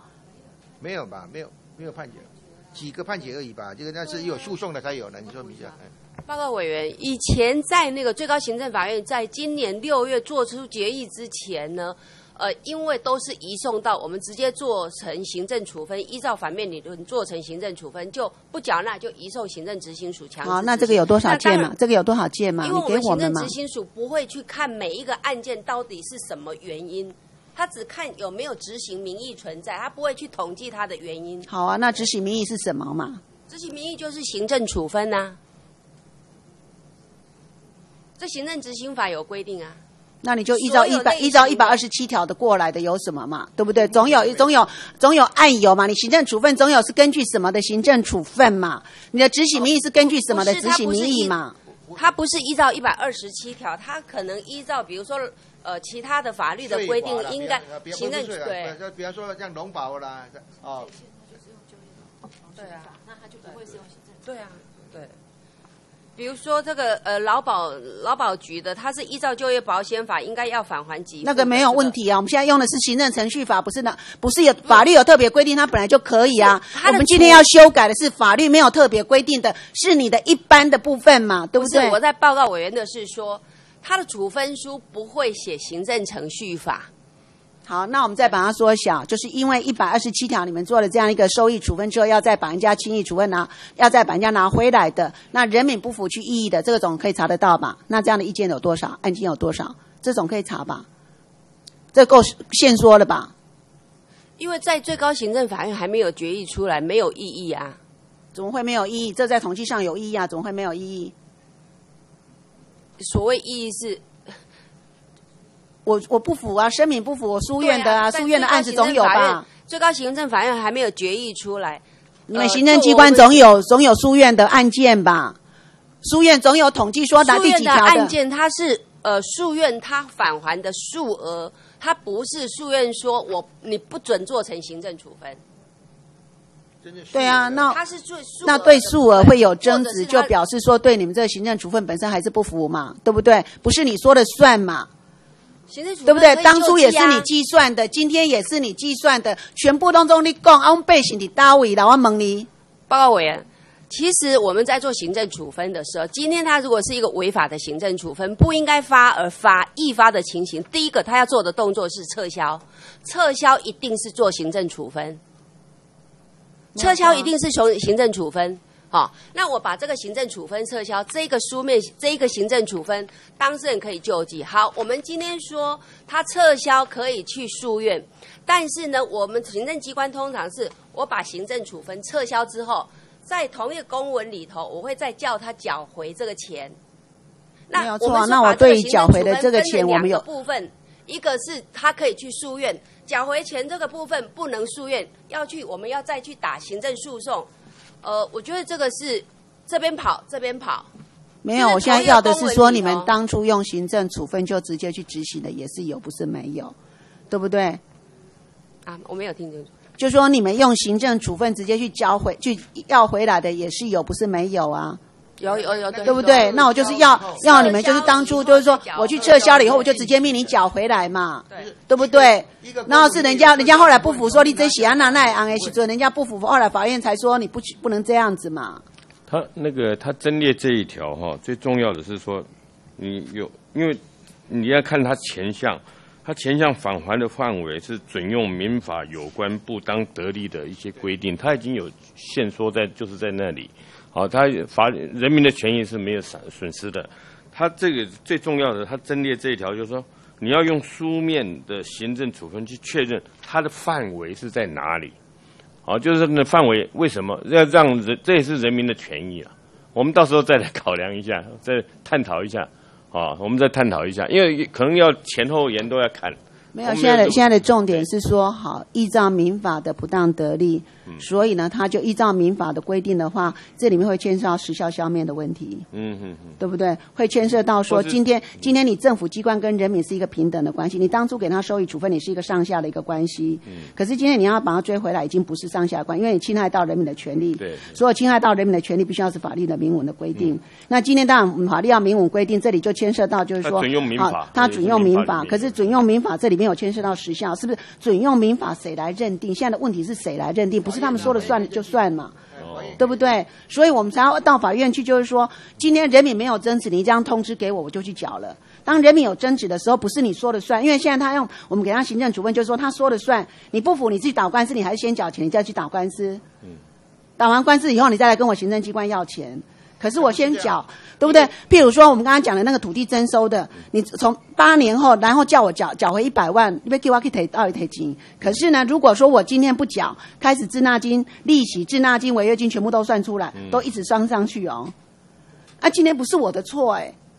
对，那今天如果说他必须要到法院去行政诉讼的话，是他们要先去告他告赢之后，我才来缴钱，这是两个不一样的。所以这里我们的抉择还要多，付的那个诉讼费用哦，对方还要就是对啊那败诉再说啊哎对不对那败诉以后可能好几年哦，那个时效是也要对啊，那有可能行政机关败诉啊。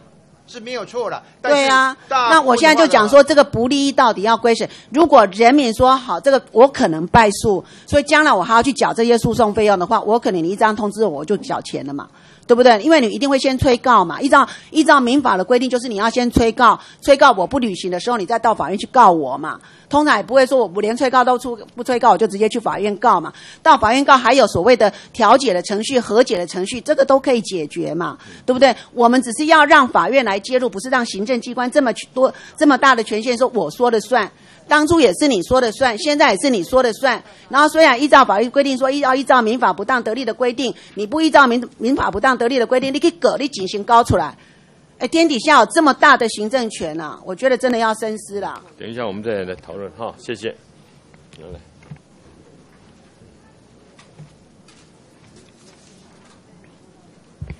接着请杨琼英委员，杨琼英委员，杨琼英委员不在，请蔡锦龙委员，蔡锦龙委员，蔡锦龙委员不在，请杨英雄委员，杨英雄委员，杨英雄委员不在，请李同豪委员，李同豪委员，李同豪委员不在，请陈欧破委员，陈欧破委员，陈欧破委员不在，请林德福委员，林德福委员，林德福委员不在，呃，请徐天才委员，徐天才委员，徐天才委员不在，请郑天才委员，郑天才委员，郑天才委员不在，请李桂明委员，李桂明委员，李桂明委员不在，请卢秀燕委员，卢秀燕委员，卢秀燕委员不在，请周尼安委员，周尼安委员，周尼安委员不在，请肖美琴委员，肖美琴委员，肖美琴委员不在，请邱文燕委员，邱文燕委员，邱文燕委员不在，请谢国良委员，谢国良委员，谢国良委员不在，请陈明文委员，陈明文委员，陈明文委员不在，请赖正昌委员，赖正昌委员，赖正昌委员不在，请叶金玲委员，叶金玲委员，叶金玲委员不在。请高金素梅委员，高金素梅委员，高金素梅委员不在。请陈一杰委员，陈一杰委员，陈一杰委员不在。请林昌明委员，林昌明委员，林昌明委员不在。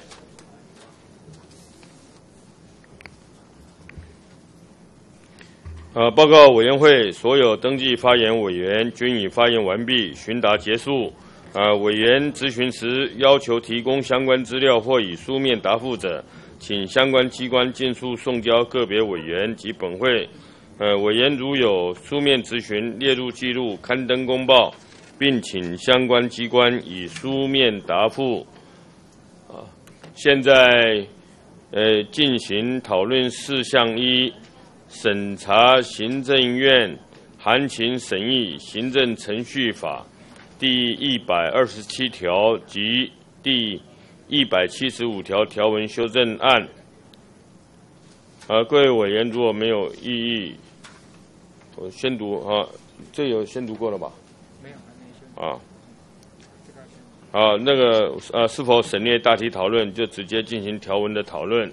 然后同意的话，我们现在宣读提案条文。行政程序法第二十一第一百二十七条。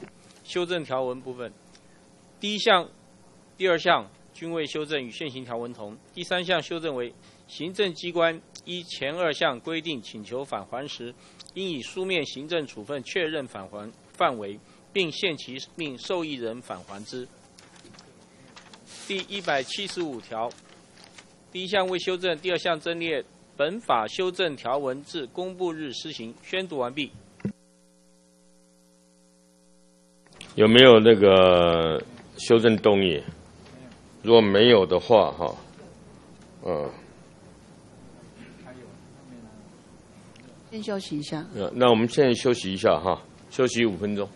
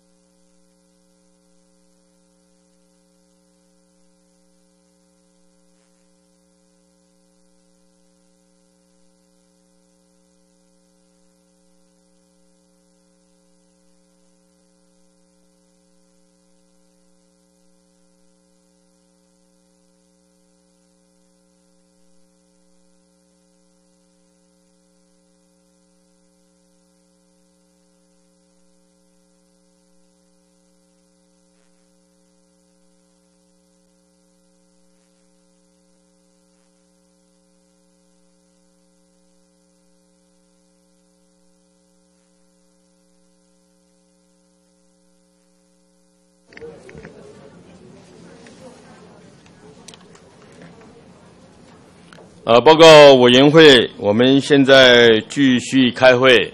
现在请林昌明委员，呃，来针对呃这个第一条嘛，是吧？哈，那部分来发言。好，呃，主席哈，各位委员，我想我们今天呢，针对我们呃这个司法院的这个行政程序法哈，本席呃有一个呃这个做一个说明哈，呃是不是方便的话哈，我们 呃请今天有哎呃这个次长嘛哈，啊次长，次长还有那个呃法司法院的那个司法院呃，林法官，林法官了哈，好不好？好好。做一个参考，探讨一下哈，好不好？哎，请呃林呃陈呃陈次长跟林法官，司法院林法官。好，这个 哎次长哈林法官呢？两位的司法院，呃，就是请，应该这个是呃刑刑事厅嘛，因为司法院嘛是吧有有一个代表来嘛。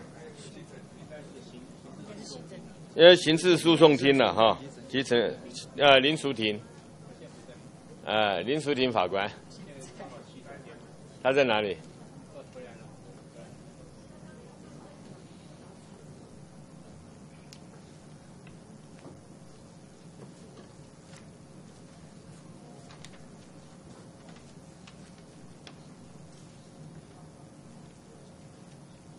行政诉讼厅，呃，诉讼及惩戒厅啊，啊，林法官，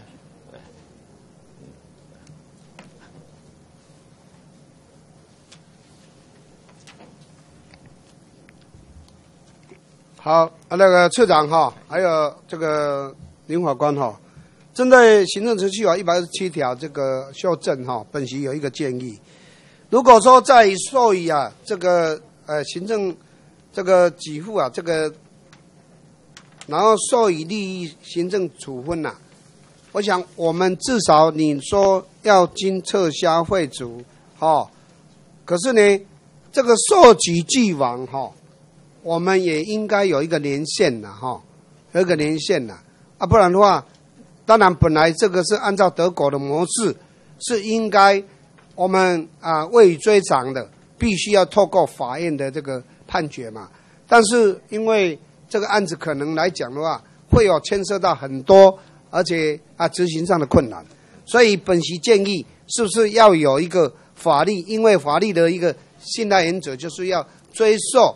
追溯期要定多少年限了哈，好不好？好，我我我我第一个建议了哈，第二个建议，我想按照哈我们呃这个整个法医呢，法医司法呢啊，第一个哈法医师的这个培育啊，说在现在目前越来越困难了哈。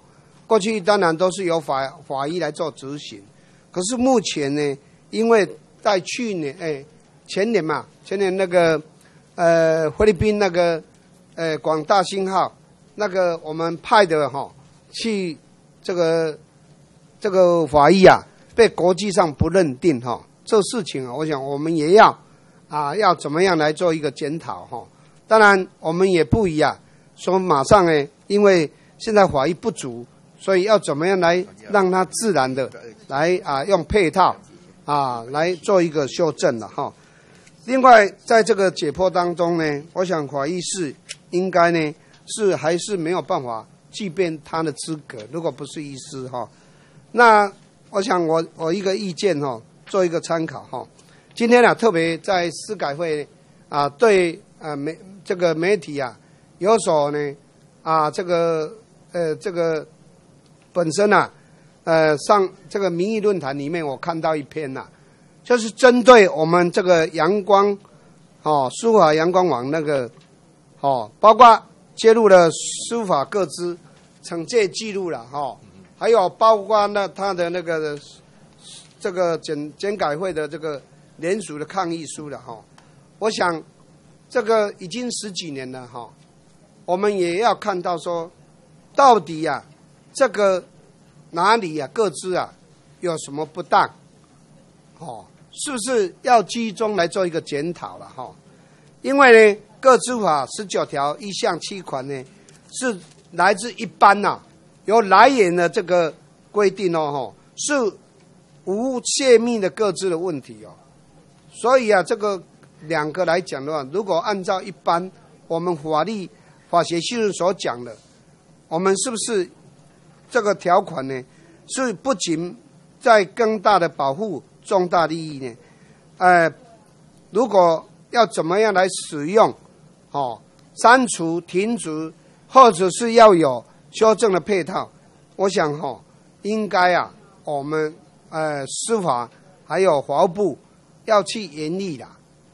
我我是一个建议的哈、那司法是最后的一道防线了哈、我想呢，我们可以看到司法的这个可呃信任度啊，我们从这个一百零一年哈五十一趴，哦，一百零二年的五十六趴，到现在呢啊降到四十九趴，所以呢，在整个司法的这个可信度呢，让人民相当的质疑，而且在整个哈、这个这个啊、整个公平啊公正性呢，哎，在一百零三年哈、是七十四趴，哦，整个不信任度呢几乎啊哦上哦上升了四点四趴，所以这一点呢、我想我们也要去做一个了解跟修正了哈、那次长本席在这里，我要强调哈、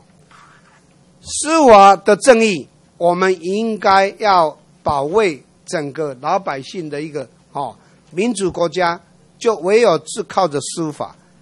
那本席哈、在此啊，我想过去我们也被啊这些抹黑、栽赃，甚至不断的哦，这个从这个看到哈、这个时间冗长啊，市长。造成了被害人啊这么久的一个伤害，哦，本席就是亲身体验，哦，段宜刚对本席的这个啊不实的控告，我不仅呢一直要求你们要查证还原，另外不实的给我这个妩媚，本席也要提告。所以，市长，这个必须要时效性。那如果说让你啊这样子一拖，哦，一百零一年到现在一百零四年，一拖四年的话，那几乎什么都不用玩了。还好是在哎选举前呢、你在选举后，你即使上又又有什么法法啊、依据可以去说明？而且有一个案是查两次的吗？哦，我想我们司法要一定要好好的彻底检讨，不法不忠，要明辨是非，马上查办，向他去关说的，好、要求指挥检察官针对黑心食品的，我希望来做一个揭露，要立案调查。看哪一个是在不法啊、不当、贪污的，你们要涉及要要去严禁的去查，到底他是什么目的？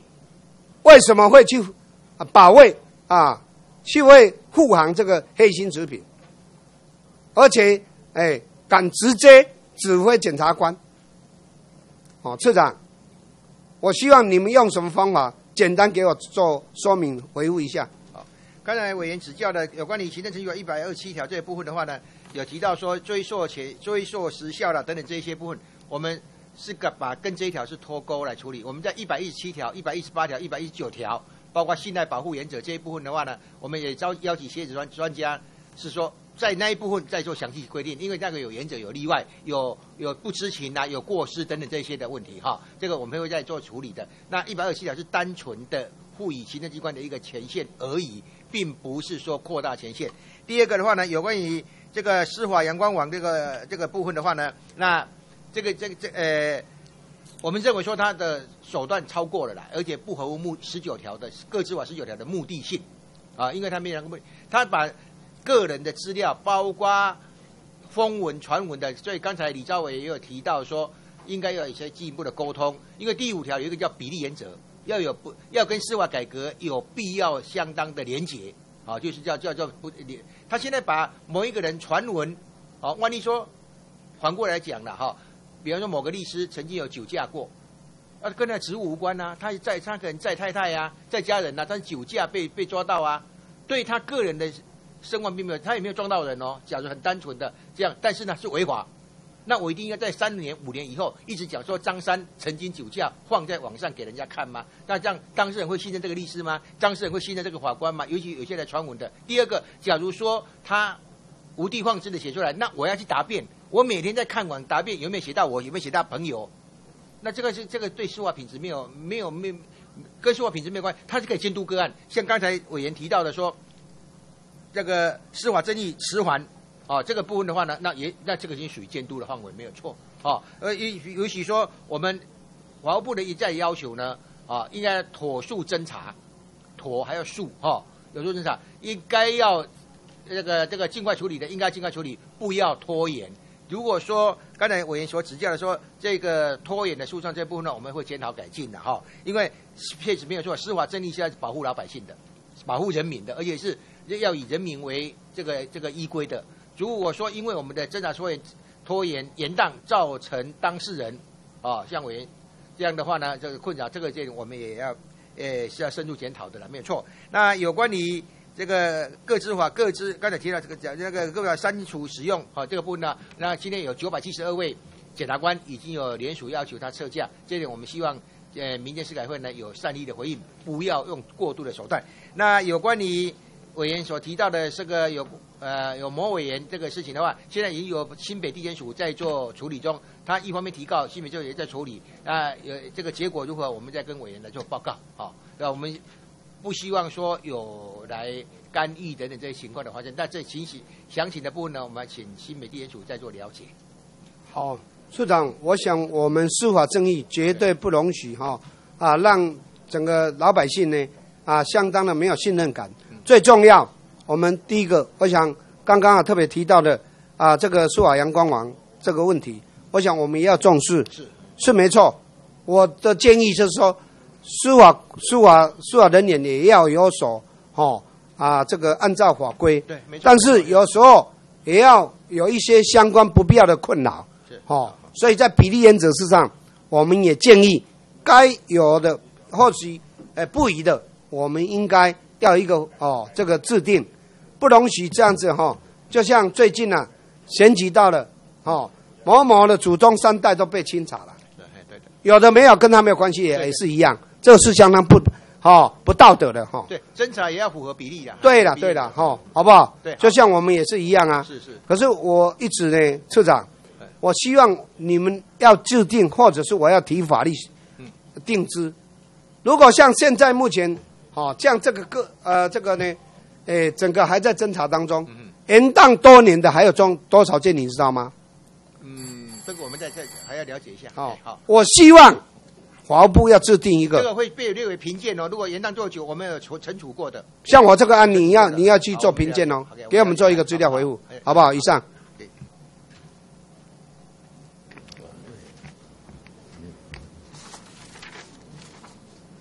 好，那我们现在针对这个呃行政程序法呃第一百二十七条及呃第一百七十五条条文修正草案了、那我们现在来协呃花五分钟来协商一下，好不好？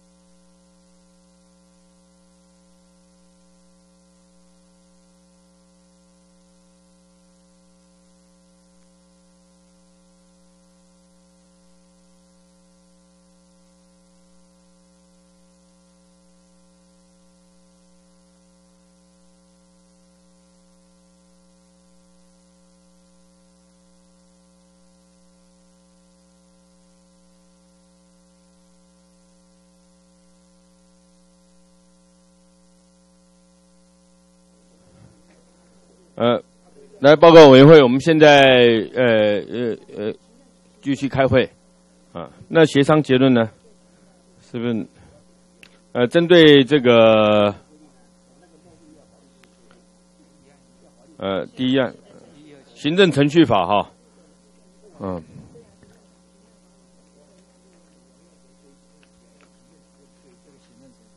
好，那个行政程序法第呃第一百二十七条，呃有没有意见？好，那有意见呢，因为这里这里其实十二点以前要结束哈，因为我我会建议建议说保留啦，因为这个真的是太冲突，而且这里面有两种不同的意见呢哈。第一个就是说啊，刚刚行政机关在讲的说都是那个行政，就是说。啊，他的这个收益的这个处分呢，他本身就是因为当事人他可能就说诈骗或是违法，好等等，所以我再把这个行政处分把它撤销掉。那如果有诈骗或是一些违法的情况，它本身可能就已经触法了。那你行政机关本来就可以去用一个依照行政法法，本来就可以去罚他。那甚至呢，我可以把他的这不法利的把它没入。好，那那对于就说我他今天的这个我我一个受益处分给他还在继续嘛，所以我今天可以把这这行政处分撤销，可是我是往后撤销的，所以以后我不会给他钱，过去的我用没入，未来的我就不给他了啊，对不对？那你不能够说对所有的行政处分，不管说他到底是善意的或是恶意的，那全部我都给把它撤销掉之后，阿力基你你去去提起一个行政诉讼，正在行政诉讼中，我仍然命你说你现现级要缴回。那我觉得说这个不合理呀，所以这里其实是要更细腻的去规划，就是说你今天人民到底是明知或是有重大过失而不知，好，就说你是不是有这样的一个违法的一个情况？那如果说我是一个无辜的，啊，给你起立供啊，每次都是你讲说了算，那人民的权益到底在哪里？我觉得这个部分要去区分呢。呃，这样好不好？那这一条我们就是保留送协商啊，好不好？呃。呃，赵伟，我想这样子的哈，不是啦，我建议啦，刚刚特别有一个弹书嘛，如果说你一百二十七条，你认定上说，在整个啊撤销以后，啊你在行政救济的时候，这个其中就不能，我们用弹书嘛哈，不得哈做这个这个这个财务判决哈，或是罚款这个啊，这样保卫当事人嘛。你言议一下，说完你言议一下嘛，好不好？但书一下啦，啊，既有保障又可以通过。德国法哈，好不好？其实我们去抄德国的，德国他们现在其实已经有规定，就是说他加了第二项，就受益人明知。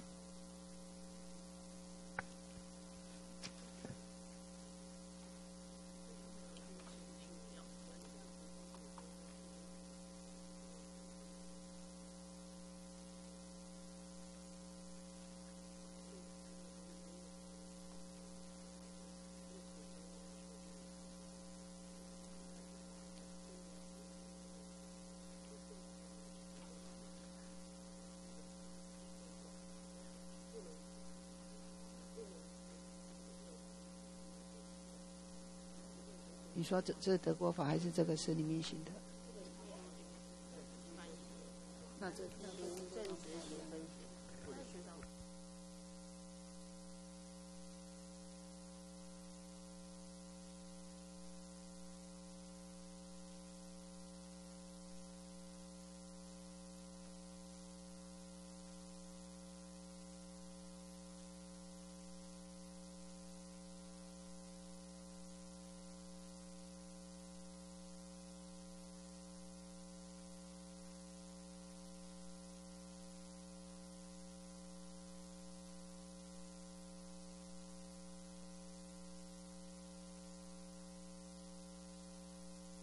你们现在一一七一八不修，然后现在只是说啊被修，你你你没有配套的这个就先过去，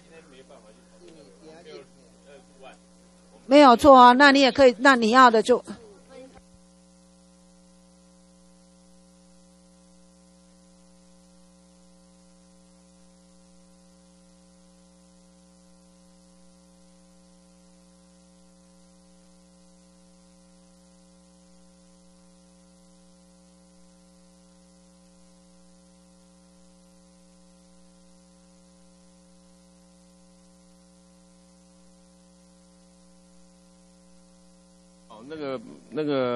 法程序上是有问题的。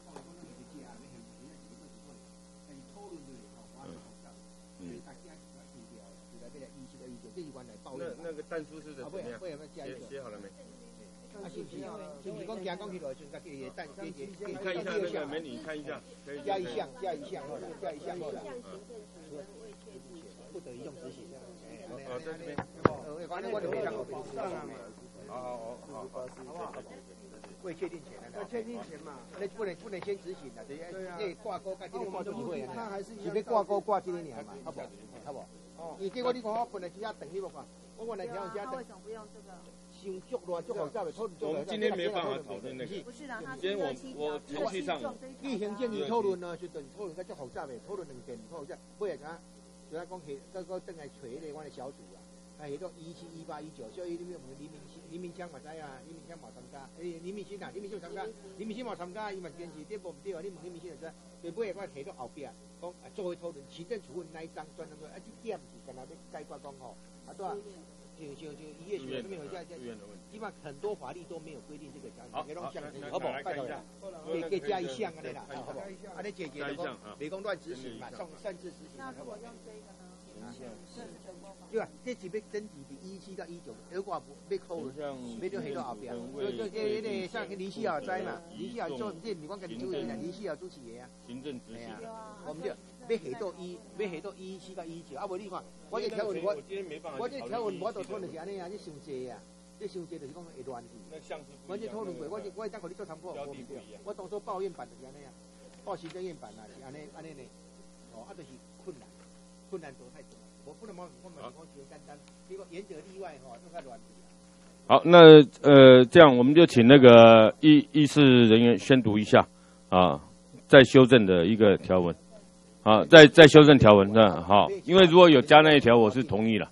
好，来，嗯，对，好，这这程序上有，好，来，对对，这必须，因为他那个诉求不太一样，加一项，前项，前项了，看明确了啊，这样就会明确了，对的，对。目的是，哎呀，目的的当然个卖卖卖善行执行的那对的，好不好？因为前面你你。它有个前项返还范围准用民法，民法里面就有有相关的规定。对的，啊，我希望各机关大家都，比如说你现在程序上，你再加上说，啊，你还没有确定以前可以说。现说那个执行。哦，好，好，那先宣读一下。行政程序法第一百二十七条，第一项、第二项未修正，增订第三项。行政机关依前二项规定请求返还时，应以书面行政处分确认返还范围，并限期命受益人返还之。第四项，前项行政处分未确定前，不得移送行政执行。宣读完毕。好，那我们就照呃这个再修正的协商呃协商结论通过。啊，请看呃第一百七十五条有没有意见？呃，这这是公布日啊，对了，合理啊，好，好，那我们就呃照提案通过，啊，接着下来我们看，呃，呃，法医司法哈，呃啊，范保法，范保法是吧？啊，来，呃，各位委员，那针对范保法哈，呃，这个第三条的部分，呃，有有有没有意见？啊，没意见，那请那个议事人员宣读，啊，嗯，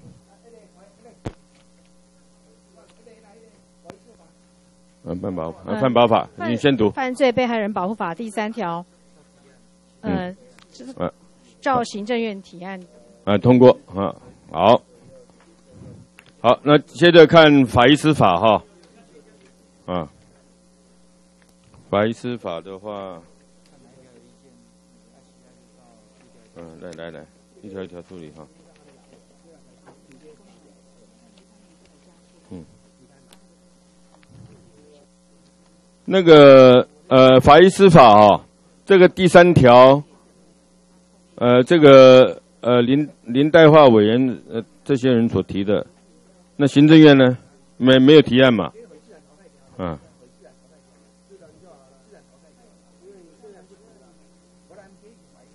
好，那如果是这个第三条，呃，依照呃没呃就是不予呃不予修正哈。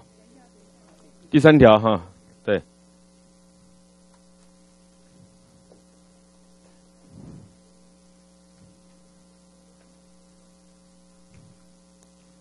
你用这本公文书。啊，好，来，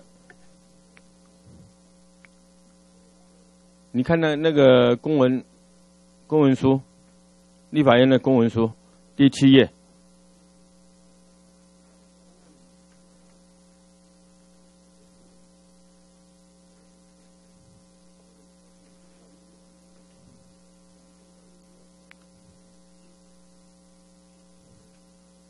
来，第七页哈。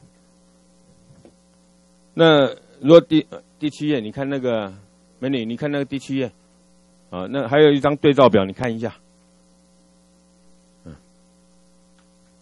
好，就是这个第七页，好，这个就照呃，因为行政院没有版本嘛，就照原条文，嗯，好，好，那就照呃，就呃第第三条不予修正。啊，请看第四条，呃，行政院版哈，哦，嗯，第四条，啊啊，不予修正是吧？啊啊，不予修正。好，呃，请看呃第四条之一，第四条之一没意见哈，啊，是照你的版本，这是谁的？不予修正是吧？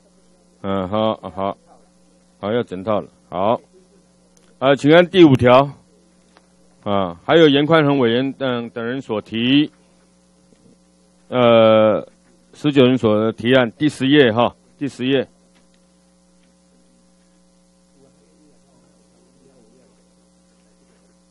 有没有一样？那个宽宽恒的提的有没有一样？跟跟，啊，也不修是吧？啊，好，不予修正哈。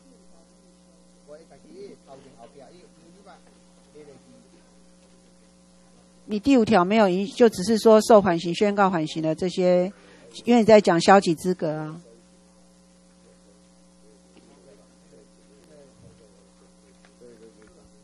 行政院的提案呢？你们有有你们有提啊？啊，就照行政院跟跟严宽恒的一样的嘛，是不是？一样嘛，是吧？啊。消极资格了，那个我我觉得美女你讲的可以，嘿，好，好，那我们就是，呃呃，第五条的话就依照行政院及严宽仁委员等所提的版本通过，好，啊，消极资格哈，啊，请看这个第六条，第六条。不要修，不要修了哈，啊，不予修正是吧？啊，好。呃，请看第七条。第第七条也不要修。呃，不修哈哈。好，不予修正。然后第二章啊，章名啊，就也不要修了。你那个死因鉴定要放啊，先先不修了。哦，好，就不修了哈。好，好，请看第九条，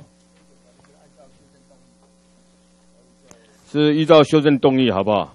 就是在依照。依照严宽恒委员所提的，呃，啊，文字出来嘛，啊，来来来，啊，这是他的呃再修正动议是吧？再修正动议这边，呃，他原来就就是依照这个严宽恒委员所提的，呃，再修正动议，啊，就是他的提案，然后再加修正动议，因为他一个是资格的问题，一个是业务保障的问题，啊。等一下，你这个，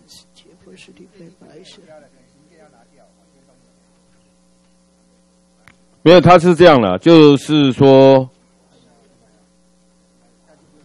哦，就死因鉴定之前没有修嘛，是吧？哦。那个。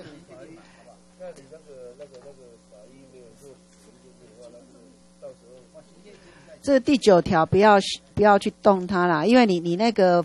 检阅员的部分四十九条处理嘛？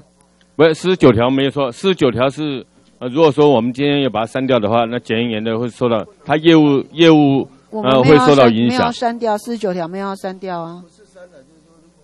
因为那个它它是四十九条是年限的问题，那年限有涉及这个将来信赖保护原则的问题、工作权的问题，哦，那呃当然是，所以我们是配合这个第九条，这个是配合第四十九条，它你如果把它删掉的时候，它的业务啊啊、必须要有所保障啊，是这样。那我们建议所以我们这边是针四十九条不动，然后第九条也不动。那个司法院有一些意见，司法院是不是表示一下意见？那主席哈，各位委员，因为我本来是看到那个死因鉴定这个部分有增列进去嘛，哈、嗯那如果死因鉴定真列进去的话，因为在刑事诉讼法现在没有嘛，是吧？啊，现在没有的话，我们就没有意见了。啊，好，现在没有嘛，现在没有，那就好没意见所以你要把这死因鉴定拿掉，是不是？呃，第二项吗？呃，你你只只你再念一下，就是说，因为我们现在是增加一。哦，好好。呃，除哈，哦，好好好。我来，嗯，啊，对，哪一个？啊，修正动议啊，哦，要先念一下修正动议哈，好来，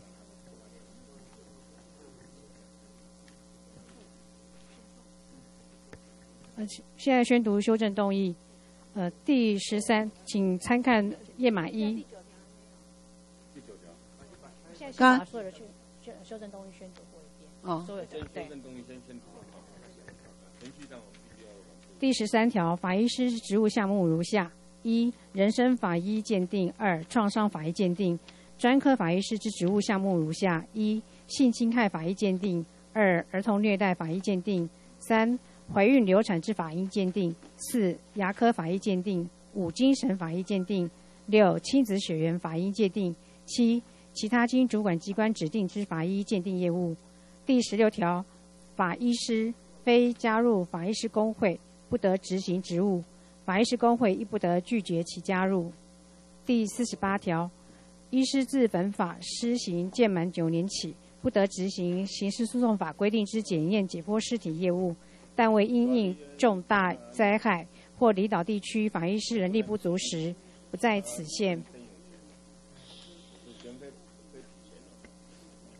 那呃，附带决议第三页部分，查法医师法制定及施行已近十年，为通过国家考试分发各地方检察署之法医师，却迭遭质疑尚无能力遂行全部法医师之法定任务，显见用人机关法务部在考试及格人员之培训功能上产生问题，原要求该部针对伤害问题，于二个月内向本院司法制法制委员提出检讨及改进报告，其余二年内提升现行各地方地地方检察署法医师之法医执行能力，以及将来通过国家法考试分发公职法医师之立即执行能力。另目前全国十九个地方检察署现仍有新竹、苗栗、台东等三个地检署之法医人数挂零，意见请行政院及相关单位紧速编列相关预算，开出名额，让考选部办理事项考试补足缺额，以缩短刑事相验日期，并减少流浪法医师数量。提案人尤文宽和律文学章王文惠美、尤文美女。林伟昌敏。B 部分，法务部应优先聘用国家考试通过之法医师，于未设置公职法医师人力之地方法院检察署，应以特约法医师填补不足人力。离岛或经法务部审酌主管机关财力分级及当地社会资源连结不易，亦认有必要之地区，法务部、行政院主计总处、人事总处应积极编列经费指引。提案人尤为美女绿园学章林伟昌敏。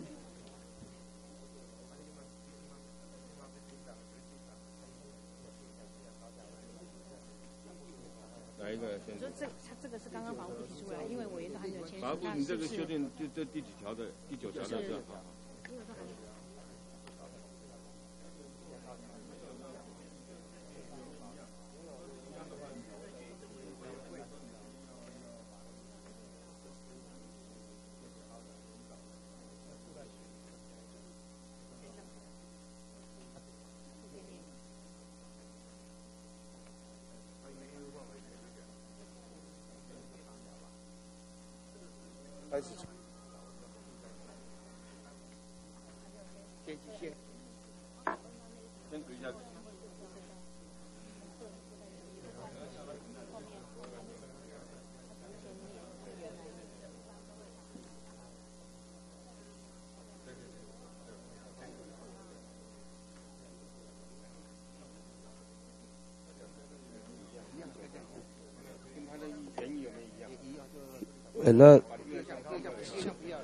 呃，对，死因鉴定，死因死因鉴定。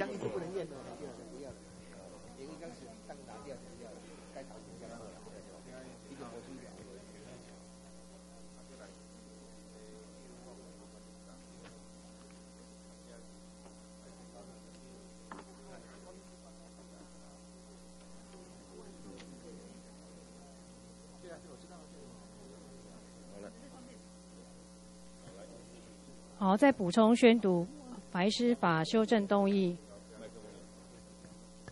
第九条，依刑事诉讼法规定所为之检验尸体，除本法或其他法律另有规定外，由法医师检验员为之。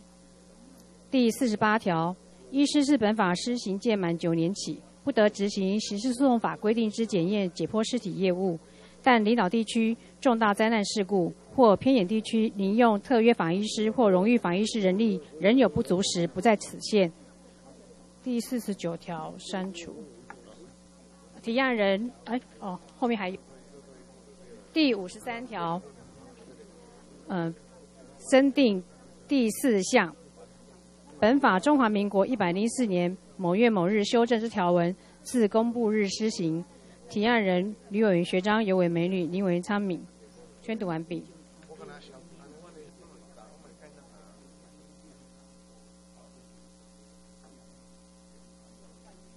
好，那我们现在那个呃，三支修正动议啊，宣呃修正动也宣读完毕哈。那我们现在再看这个第回过第九条哈。呃，第九条，各位委员，现在就是说协商的结论就是把，呃呃，这个呃行政院的提案第九条第二项啊予以删除，啊，有没有意见？见呢？啊，那个现在就是说检验员的部分哈，刚刚那个就是法医所给我们的现在的情况，就满六十五，就说一共有二十八个。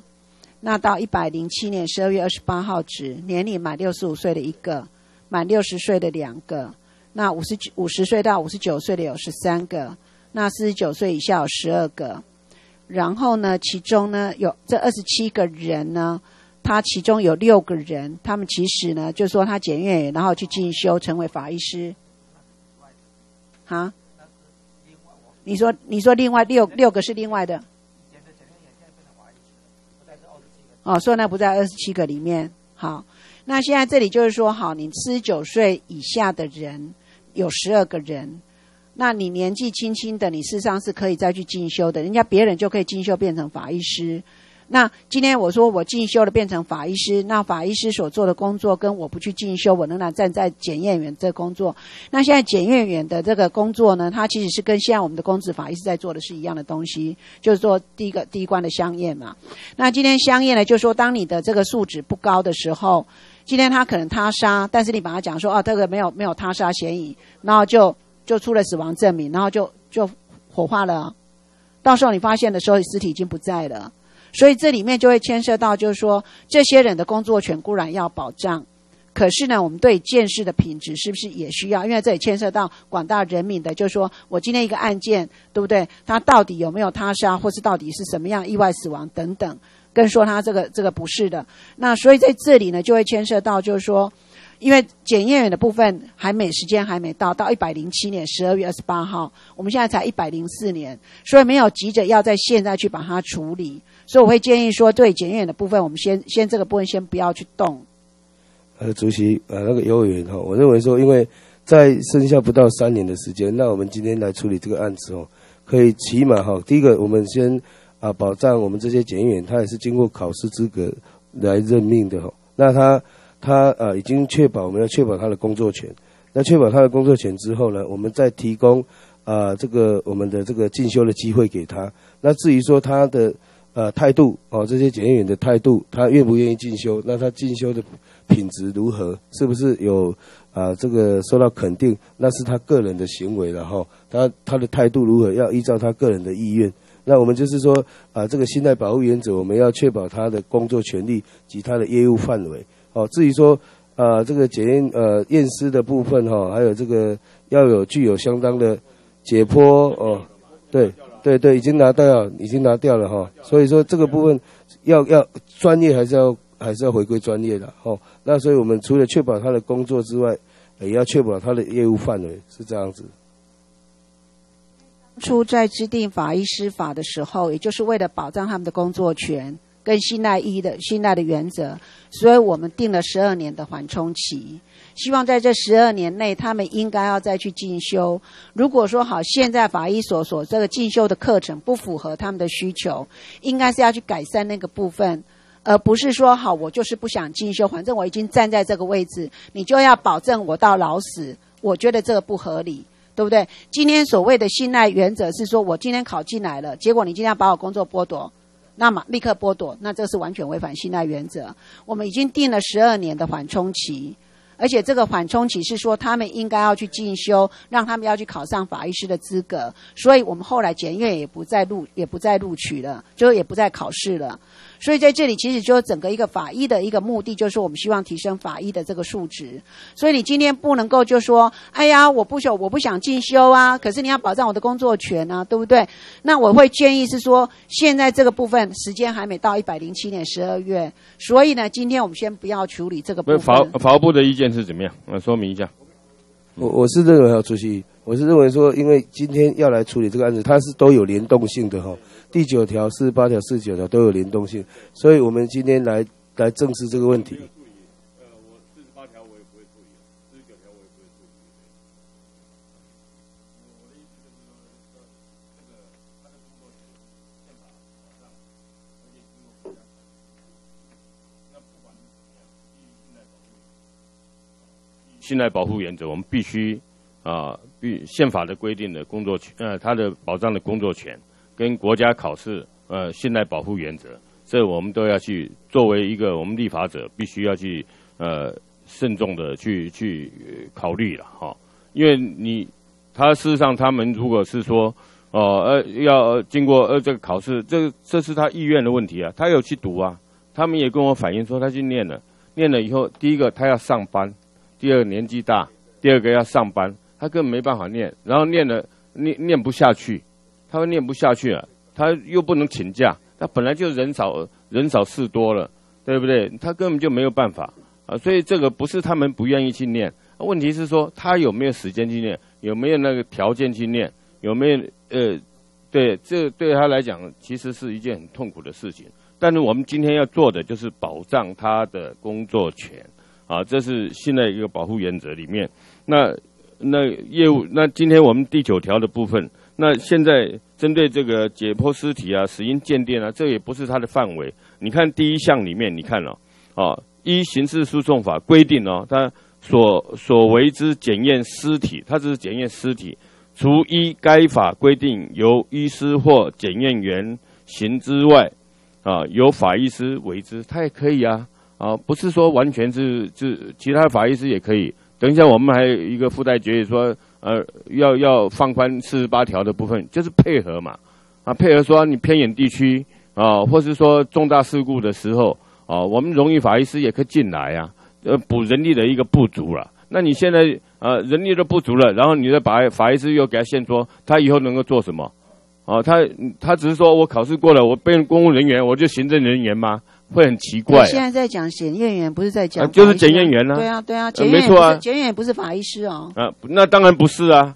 对不对？他的职那现在你检验员，现在你检验员在做法医师的工作，这个在刑事诉讼法里面没有规定，所以你现在是尸体而已嘛，哈。检验尸体，它是第一关哦。今天当你。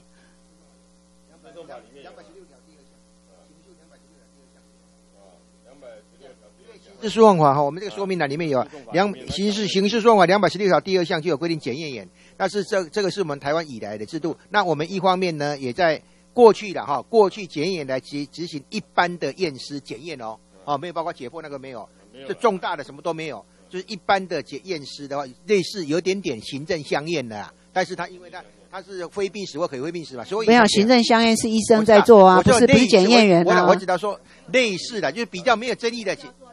今天今天一件到底是不是他杀？你怎么去判断他是第一关呢？对不对？检验过去，我讲是说过去以来哈，检验员他的验尸。并如果是遇到有一点争议的话，都会在这另找法医师的，就是一般性的比较没有困难的哦，那一种的话呢，才找检验员的啦。那所以实物上没有困难。第二个的话呢，检验员这剩下的不多，刚才委员也知道了哈，因为那个第三个，那我们华医所呢这几年来呢也都在一再的培训我们检验员。刚才李兆伟也提到说。检验员，因为他现在的工作也很忙，有的在外外岛离离偏远的地区，所以他要上课，要到台北来上台大华医所，事实上不可能，哦，所以这一些的工作权给他保障，让他能够自然淘汰。第一个做不了了，自然淘汰；第二个能够去提升的，我们鼓励他来读华医所，啊，怀疑研究所，这样双管齐下，啊，在宪法上的工作权保障，因为他当年好好歹他是考上的啦，是不是这样的话呢？啊，那我们在实物面呢，我们自己会注意啦。哦，检验员不会给他做一种繁重的工作，比较争议的工作都不会，只是一般性的那一种而已啦。实际上我们会用实物面来控制住。嘿，那如果这样，你们能不能配套就去把公职法医师的职缺把它开出来？因为现在你们检验员所占的职缺是占二十八个，公职法医师的职缺只有二十四个，所以你们等于是用检验员来取代这个公职法医师的工作。那你们现在那一天在讨论的时候，你们说，哎，检验呢，他们会慢慢的退去，所以那个名额就可以让出来的公职法医师。可是我们今天看这里面的报告里面，根本就不可能让出来，只有让一个一一席名额出来而已。那你们公职法医师完全不开缺，然后让继续的就有正式资格的公职法医师在外面流浪，然后呢，让对不对？公职法医师的职缺不开，然后让这个品质呢，就是我们就是说这个检验员。然后呢，这里面呢，他们应该去进修，不用进修，然后继续站在这这个位置上，我觉得不合理。那我们如果这样的话，第你那个十二年是什么？就是白定了嘛？当时呢，有点点硬的诚意是不是过高，是值得思考的地方呢？因为当时说全部把检验下排除掉，他就在来上课，取得法医师的资格，是让实物面来讲做不到。哦，在当年十二年那个九年前来定这个的时候，是现在回想起来是有点。诚意比较高了一点的哈。第二，第二，刚才除了宪法保障，第再一个的话呢，那我们这个开缺的问题，我们是想开缺，但受制于这个主改啊，我们可以就决议来要要求我们做。我们这个这一方面的话，因为这个配合开具，事实上呢，我们今年就把两个的缺移给华医所啊，一个了，一个是给你们一个吧，一个华一个给华医所啊，我们也很努力在做了，我们把一个缺移给华医所。现在就是说法医所一直在这个，对不对？问题一堆，你把职缺给法医所，然后让公子法医师又在外面流浪。他们就会这个就是准备要去用公职法。那个台会的，会的，会的，会的。台台东连一个公职法医师都没有，对不对？有了。麦麦克风，麦克风。法医所一个华医师的名额啊，最主要也是针对上一次在预算审查的时候。因为那时候就是我们监证研究员大概有三个，每年都领五百多万哦。那最主要的根源是我们的华医师的人力本来就不够，只有三个嘛。所以我们跟部里面极力争取说，给我们多一个人的名额的话，那我们大概一年可以节省工厂到到到六百万块钱这样子。因为办到一个公职华医师，不就是一个那个可以来负责解剖鉴定哦。他大概一年的工作量如果到四百件，大概可以就是可以节省到监证研研究员的七百六十万的这个。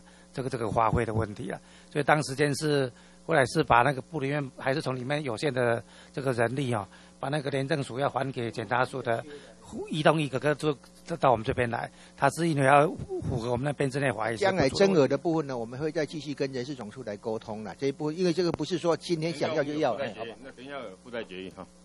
你们现在哈这样的一个修法是非常的奇怪了哈。公职法医师只能够检验尸体，然后呢，检验员也是做检验尸体，然后公职法医师不开缺，他有法医师的资格，不开缺，在外面流浪，然后检验员不用去进修，继续站在那个职缺上面。我真的不晓得说我们这个法医师是这样的修法，不是说不能去进修，他愿意要进修也可以，这是他的权利。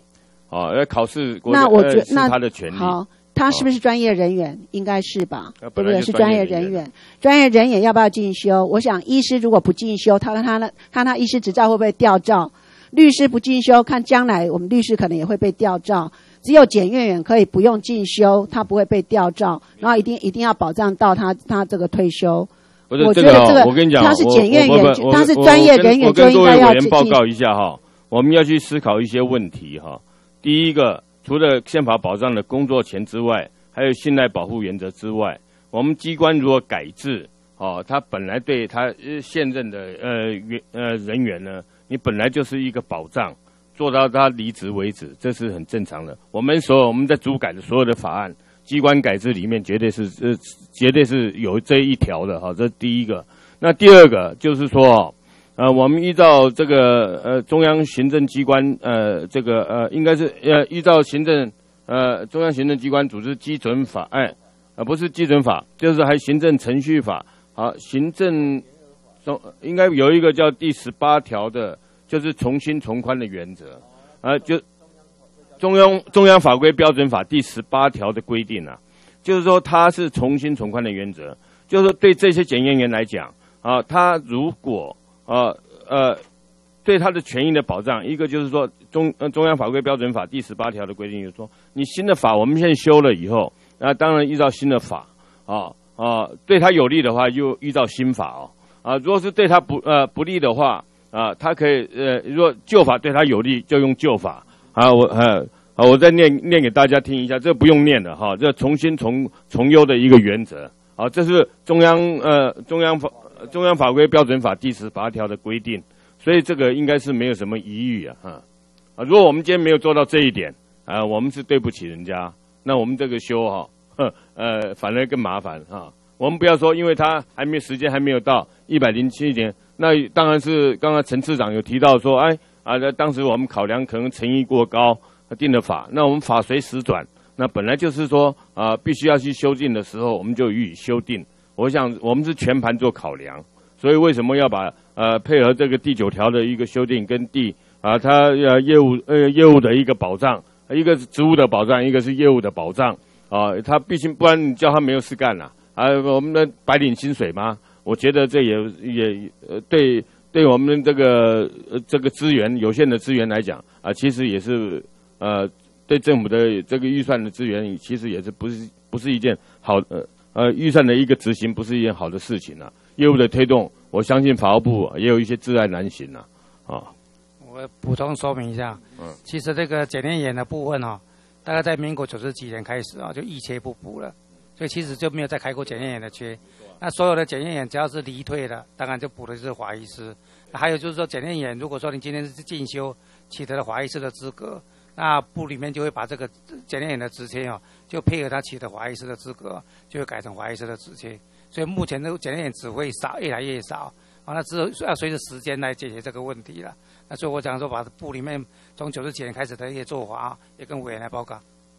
已经讲得很清楚了哈。我们要呃关心流浪法医师，相对的，我们也要呃兼顾、呃、这个检验员的、呃、他的工作权呐、跟他业务呃呃呃业务保障了，哦，就是这样，我们。我们要我们要要兼顾检验员的工作权，但是也要兼顾这整个一个法医的一个品质。所以这里牵涉到了，就是说我们我们香我们一年香烟一年大概有两万件，真正进入解剖的大概两千件，所以等于十分之一的才会解剖，其他的大概就是对不对？十分之九其实就是只有香烟。那现在就是香验，当你的香验如果说没有很严格的把关的时候，你你们那个检验员已经执行了业务多久了？几十年了？那个从我的大概七十几年开始，对啊，到现在有问题吗？其实都没有问题嘛其实我报告一下我那之前的经验哦，大概我们带着检验员出去外面相验，那检验有些地方他看不懂的，其实我们是就会进行复验。其实检验员不也不敢决定那么多事情，那实际上他是他的相验团队哦，还包括了检察官，所以检察官在现场看的话问的一些问题，检验有没有办法答复？那没有办法答复，他就会进入到复验，那复验就会找那个华医师来来复验。这里就是那个除反本法或其他法律另有规定外，那个应该要删掉了。就依刑事诉讼法的规定，所谓的检验或解剖尸，所谓的检验尸体，那你如果要的话，就是由法医师检验为之。那下面解剖尸体由法医师为之。你因为你本来就规定在现在就在本法，你还除本法有规定。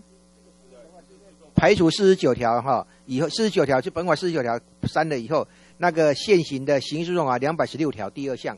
那就必须要让它检验的这部分还继续存在，然后让它自然淘汰掉了。是我们是建议这样。所以如果不加这一个的话呢，那连刑诉都排除排除的。这个因为法医司法它算是特别法，哎哎。修吗？我们没有修啊。刑事诉讼法两百十六条第二项我有修吗？是啊，那你现在检验你要你这一条在规定不就是说依照依照我们的这个法医司法让检验进来嘛？不然你也不用规定啊，就依照刑事诉讼法就可以了啊。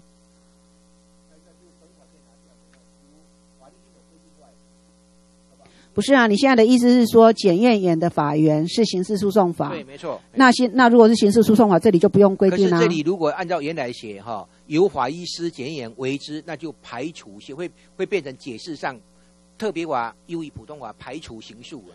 啊，你啊啊，就已经这里已经赋予他法源了，为什么还要刑诉？不是啊，这里因为这里如果说写由法医师检验为之，那是硬，那是强制规定的，有啊。对啊，由法医师跟检验为之啊。你现在不是检验要放吗？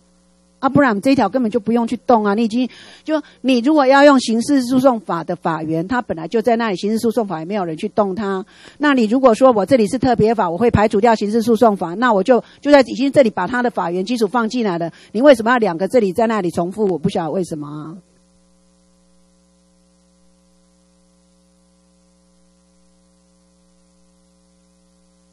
这个四十八条哦，四十八条那个医师连那个弹书啊，一个偏远地区的医师，哎，对，对，漏掉了。偏远偏我们四十八条不是加弹书吗？那个离岛重大灾难呐，嘿。对啊，啊，所以就是我们在这个特，就是法医师法是特别法，所以我才要在这里给他们法源嘛，对呀，对不对？对所以你现在要有这个法源，你要要说刑事诉讼法要用。哦，不，刚才讲错了，刚才我再补充一下，由法医师检验为之，这个没问题。但是四十八条弹书里面呢，有那个医师的检医师的检验，他就不能用哦。如果这这不加上去的话，四十八条我们现在加的弹书就不能用啊，因为它是第九条，如果哦，他两岸那个法医师检验为之就是为二吧。哦，那四十九四十八条我们加弹书是偏远地区等可以用一般医师嘛，可以医师来做，对不对？哦，那不足的可以用来做，这样的话呢，它就唯二变成第三个就不能用了啊。它变成为恶啊？为什么？什么什么意思？我没听懂。对啊。啊，所以这里是，所以这里特特别排除排除。没有啊，你这里四十八条，这里不用意识不，对不对？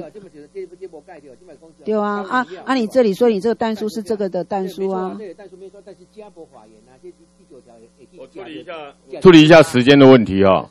啊，我们呃，四到十二点，我们延长二十分钟，哦，延长二十分钟。你会不会这个又排除不掉这一个，就变成说我意思全部都可以做？不是不是不不不不，本法规定的是本法有特别规定，这本法的特别规定只有这里而已。嗯，呃，美女，我们昨天讨论的电话中讨论的就是你四十八条那个，呃，我们要增列的嘛，要拿掉啊，就是这样，这兼顾所有人的工作权呐。没有，你我们就解决问题。不知道我们在吵什么，不要乱讲话好不好？其他法律不要嘛，对不对？好，就就本法另外规定。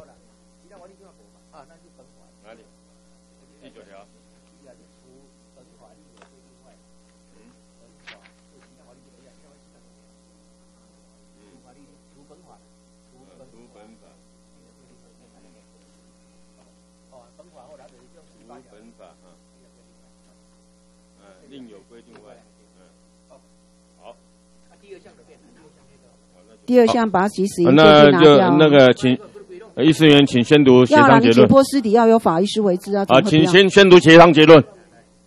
什么协商结论？啊，你就是刚才不是讲了吗？好，那请讲。第九条依刑事诉讼法规定所为之检验尸体，除本法另有规定外，由法医师检验员为之。宣读完毕。没有啊，你没有解剖尸体。那就没有了，那就拿着。呃，对呀。前面没有改啦。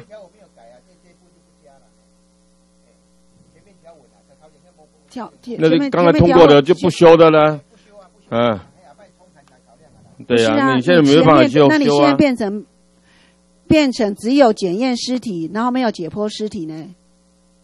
你你整整个法医师的工作只有检验尸体，没有解剖尸体哦。对呀、所以你说法医师法，我只规定检验尸体，没有包括解剖尸体啊？没有争议啊，那就没有，我们是说是解剖尸体，你还是要有那个资格才有办法去解剖啊。对啊，啊，所以我们只是说四八条里面，我们有有那个呃荣誉法医师呃荣誉荣誉法医师啊啊还有医师啊，等一下，等一下，等一下。那你至少要让他有一个法，你现在再来是说，我们现在居然全部都没有解剖了，是吧？有啊，啊，解剖你当然有啊你的法源根据在哪里？你看你你们法务部说明一下好不好？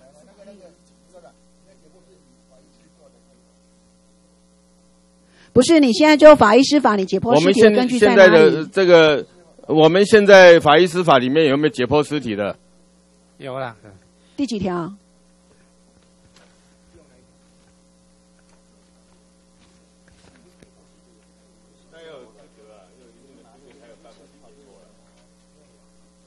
你现在现行法把它修掉了，他现在把它修掉了啊，啊，现在现在把它修掉了。你现行法有解剖尸体哦，你现在把它拿掉了，所以将来这个法医是没有解剖尸体哦。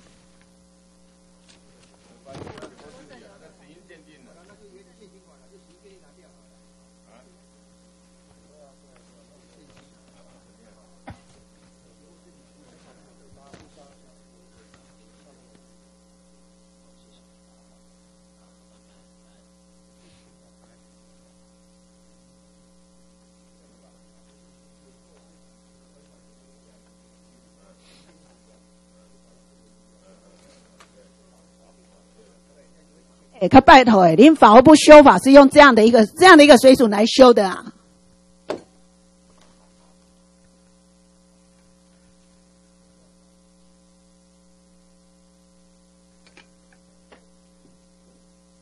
来没有看过说在修法是用这样的一个水准在修法，你们这边要去对人民负责啦。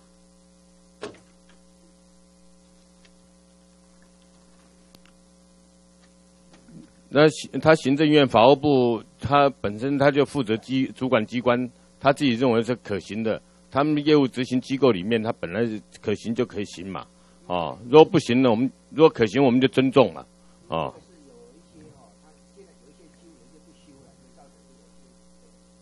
嗯，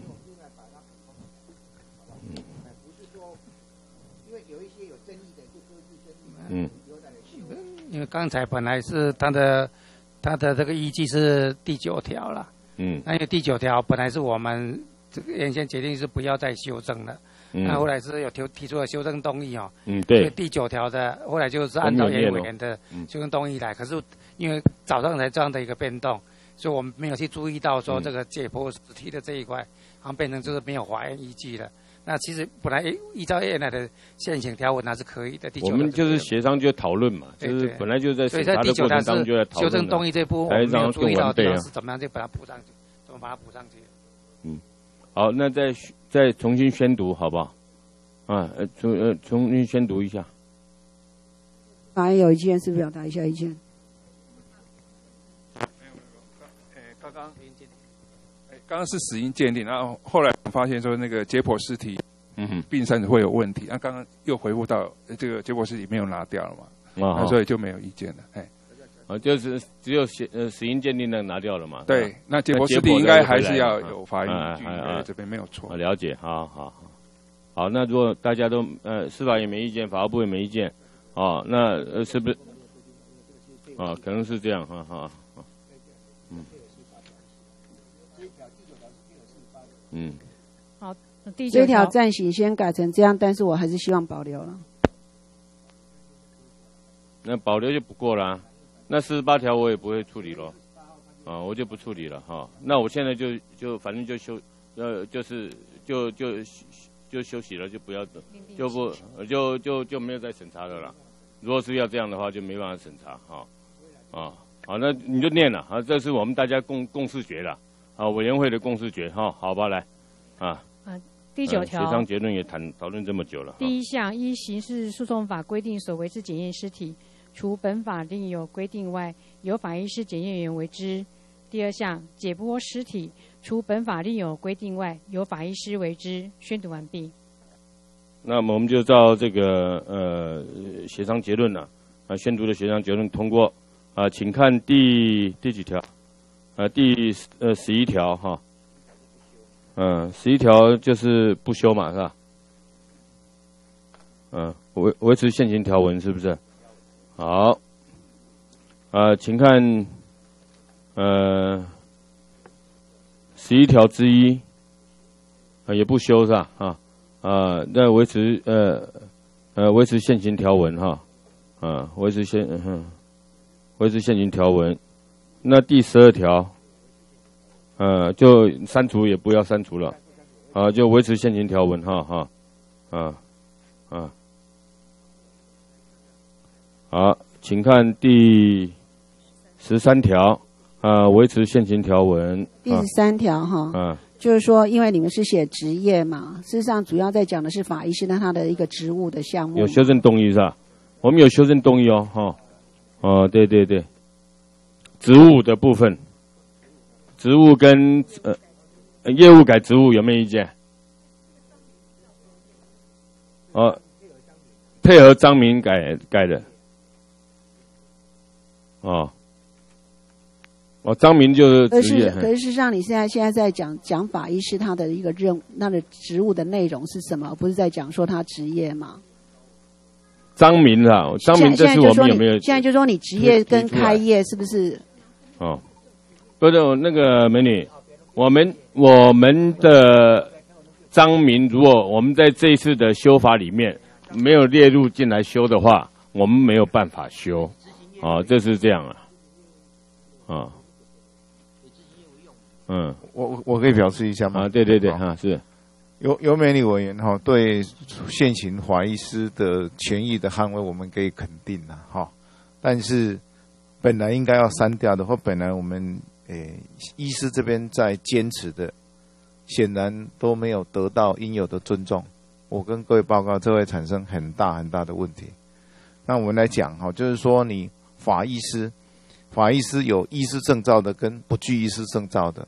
有证有具医师证照的法医师，你要去做做病理科的、次专科的受训，我们都没有问题。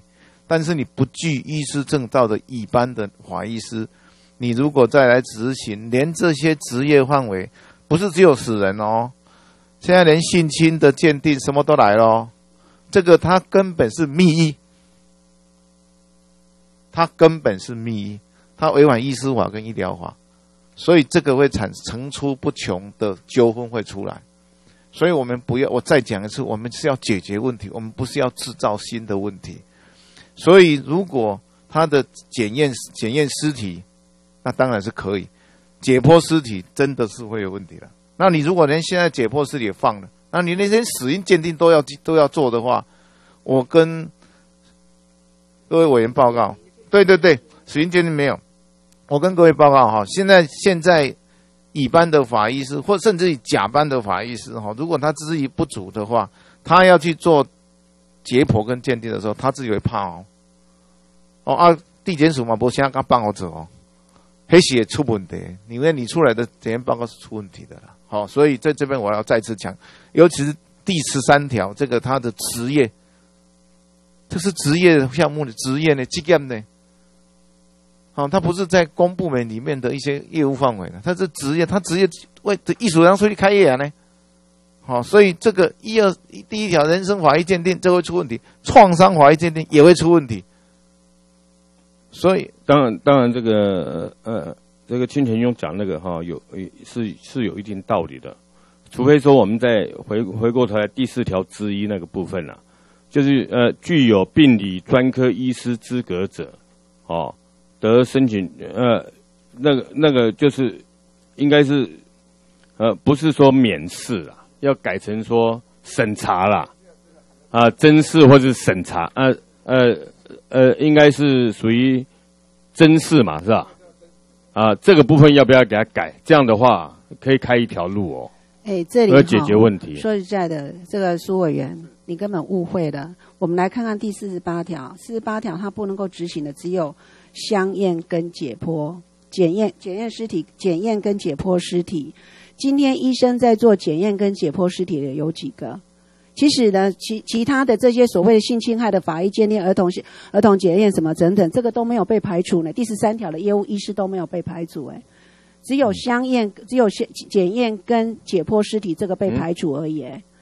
所以呢，跟你们医师工会一直在争取的，就是说，怎么可以排除我们医师的资格？没有排除，唯一排除的只有说你的检验尸体跟解剖尸体这两个要由专职的法医师来做。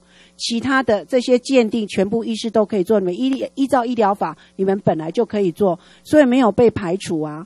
然后现在要讲说偏远地区或什么，是说如果除了这些偏远地区的，是说你们医师除了这些鉴定以外，你们可以没有法医师的资格，但是也可以来做香验跟解剖尸体。只有这样子哎，所以你们医师工会一直在反的，我都不晓得你们在反什么。你们把第第十三条错认为说这个是变成法医师的专责的职的工作，你们医师不能够做，这是错的。你去看第四十八条，它只有排除解剖跟检验尸体而已哦。呃呃，跟委员啊，主席这边做报告，我是医师师哈，那。刚刚我们特别提到这个第十三条，其实啊，上次苏委也在会上有特别提到，因为这个啊，如果说法医师他没有具属于那个没有医师资格的这个法医师，他去做这个创伤法医这部分有，这牵涉到医疗的业务了，这个是有密医的这个这个行为了，所以当时苏伟的意思是说，其实这个不是说要为了说要啊排除啊医师。不要被排除，是怕这些法医师他们做了违法、违反医师诶医疗法的或者医师法的这个部分。以上说明。你们所谓的创伤法医鉴定是指什么？今天检验尸体是不是算是创伤法医鉴定？今天检验今天在检验尸体那个做的是什么？因为因为检验尸体跟解剖这里面都没有写到。法医师的职业项目里面没有写解剖，没有解香验，所以我不晓得说你们所谓香验，这个是你们医学的法律用语，我搞不清楚。你们所谓的人身法医鉴定是什么？创伤法医鉴定是什么？那是不是所谓的人身法医鉴定跟创伤法医鉴定就是所谓的解剖跟所谓的香验？那如果你们刚刚所讲的说，哎，性侵害什么那个是要专科法医师，专科法医师在我们条文里面有，都要必须要再去另外考试的。因为我们先前啊，对啊，那这样好不好？法务部来说明，是说那十三条这里是现一条，当然有它不好的地方，有争议的地方的。因为这个也是双方争议的核心之一啦。那是我们今天是为了四十八条的问题哈，那先勉强的拜托各位委员先通过，因为它有落日条款的问题。啊，这部分请你单个后续。整体的考量的，在整体性的考量，就是两我们两法医师跟一般医师这这一部分，还有病理医师这个怎么处理？法医所呢，在我们一个附带协议嘛，要我们赶快处理吧，哈，好不好？在呃，今天不然的话，今天在这一条又卡住，因为这个我知道，这个是双方也很在核心的，好不好？好不好？啊，争执的我们暂时今天就不讨不讨论，就卖鬼，也不想说谁对谁错了，来整体考量了，好不好？好，因为因为第第六条哈有专科法医师，就法医师要经过完成专科法医师的训练，那并经主管机关审核这的时候才可以领有专科法医师的资格啊。这这里面所谓的分科政审政审办法都要有主卫生主管，要法务主管机关在会同中央卫生主管机关啊。嗯，所以这个部分是当初修法之后你们一直没有去做的现在不用去辩论了，因为这个讲我们就不修嘛哈，这我们立法政策的问题嘛哈。好，那请看第十六条，啊，也是不修嘛，是吧？好，啊，绕原条啊，嗯，啊，啊，植物那修正动议哈啊，那那既然不修就没有修正动议就不予处理了啊。那请看第三十七条，啊，不修哈，好好，呃，然后四十四条是吧？啊，不行哈，那维持现行条文哈。好，然后第四十七条，啊，维持现行条文是吧？哈，好，嗯，四十八条有修正动议哦，哈，嗯，呃，对对，就刚才那个蛋叔哈，加蛋叔那个，有有有哈，嗯，那这边这，嗯嗯嗯，嗯，啊，淡出。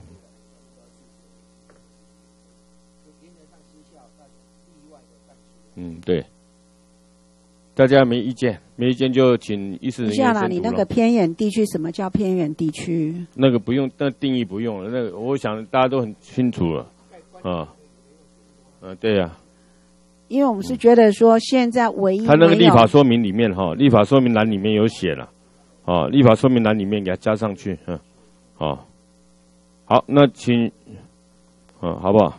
来，金生，等一下，离岛地区重大灾难事故。那立法理由里面真真列了哈，啊，你偏远，你偏远地偏远地区到底指的是什么？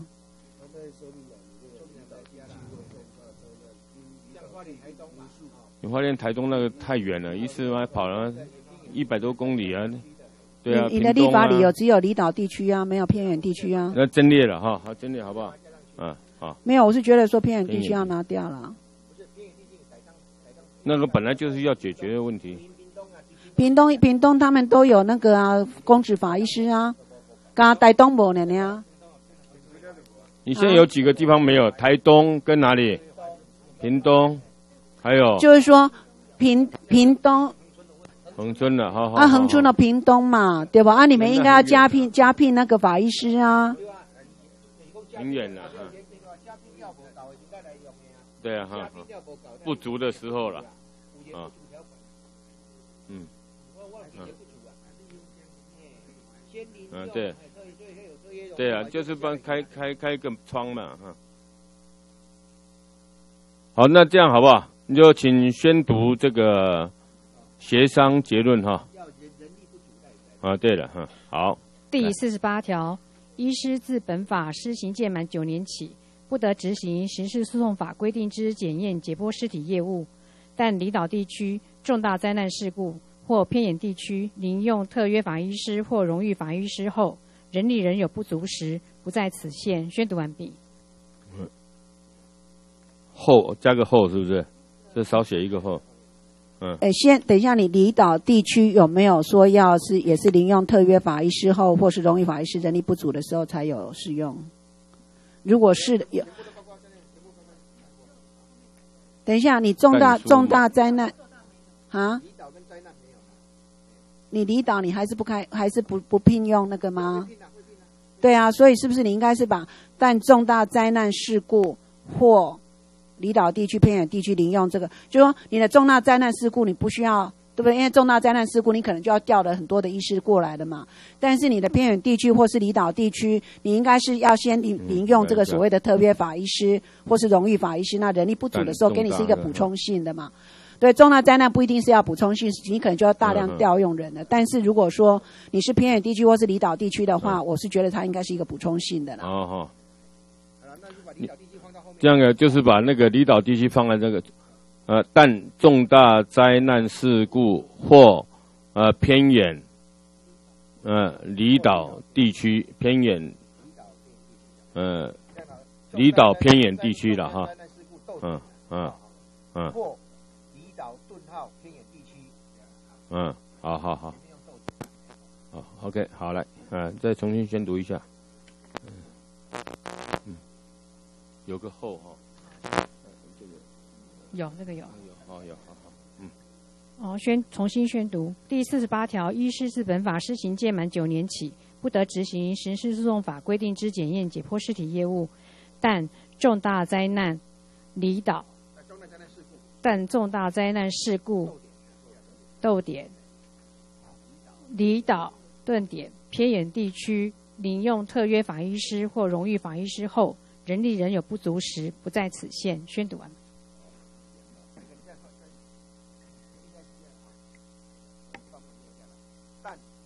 但重大灾难事故逗点或离岛顿号偏远地区，这样的，对了，啊，后面就是一样哈，临用特约条的后这样。那那个那个后哈，好像应该把它放在后面吧。临临用哎，临用特约法。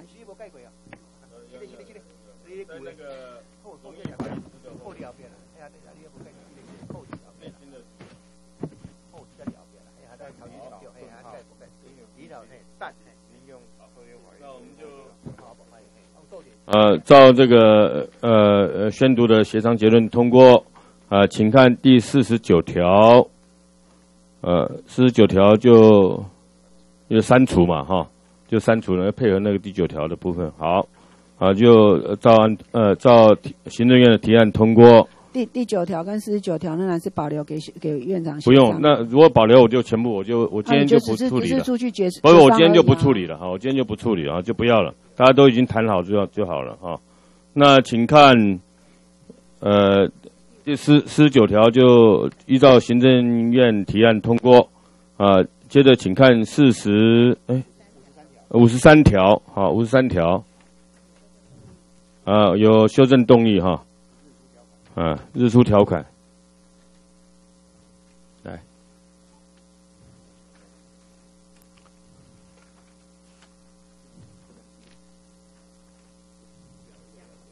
嗯，呃，请大家都没意见嘛，哈，请宣读，宣读过了，哈，啊，那就，那就要增订最后一项了，哈，呃，这公布日施行了。啊，然后那个一零四年那个四号，我们会用立法院会用那个做法去把它签签了哈，啊，好不好？好，好，那重呃重新宣读一下，呃，就是针对最后一项。第五十三条增增订第四项，本法中华民国第一百零第一百零呃第一百零零年某年某月某日修正之条文。自公布日施行，宣读完毕。好，那就照依照呃呃宣读的呃呃协商结论通过。嗯，嗯，啊啊，那个今天通过的条文啊，因为我们就由法务部哈提这个修正说明啊啊送呃送本会呃。呃，本会好不好？啊，好，嗯，那个，嗯，对，好，来，嗯，二十四分了哈，谢谢。哎，等一下，还有附带决议啊。附带决议哦，还有一个，啊，哪一个啊？两个附带决议在哪里？哈，两个附带决议是不是照那个通过？啊，啊，念一下哈，刚才已经念过了。B 的呃 B 的部分，啊，聘用改成零用了哈啊。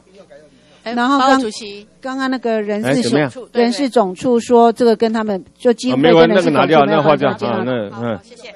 聘聘用改成零用了哈。好，还有另外那个附带决议的呃 A 的部分哈，在第四行啊。啊，于两个月内向本院司法及法制委员加应该加个会了啊，加个会哈，他漏列了哈啊，啊提出检讨及改进报告哦，好不好？好，那就给他呃也是修订通过，这个法务部没意见嘛哈啊，OK，好来，嗯，助理。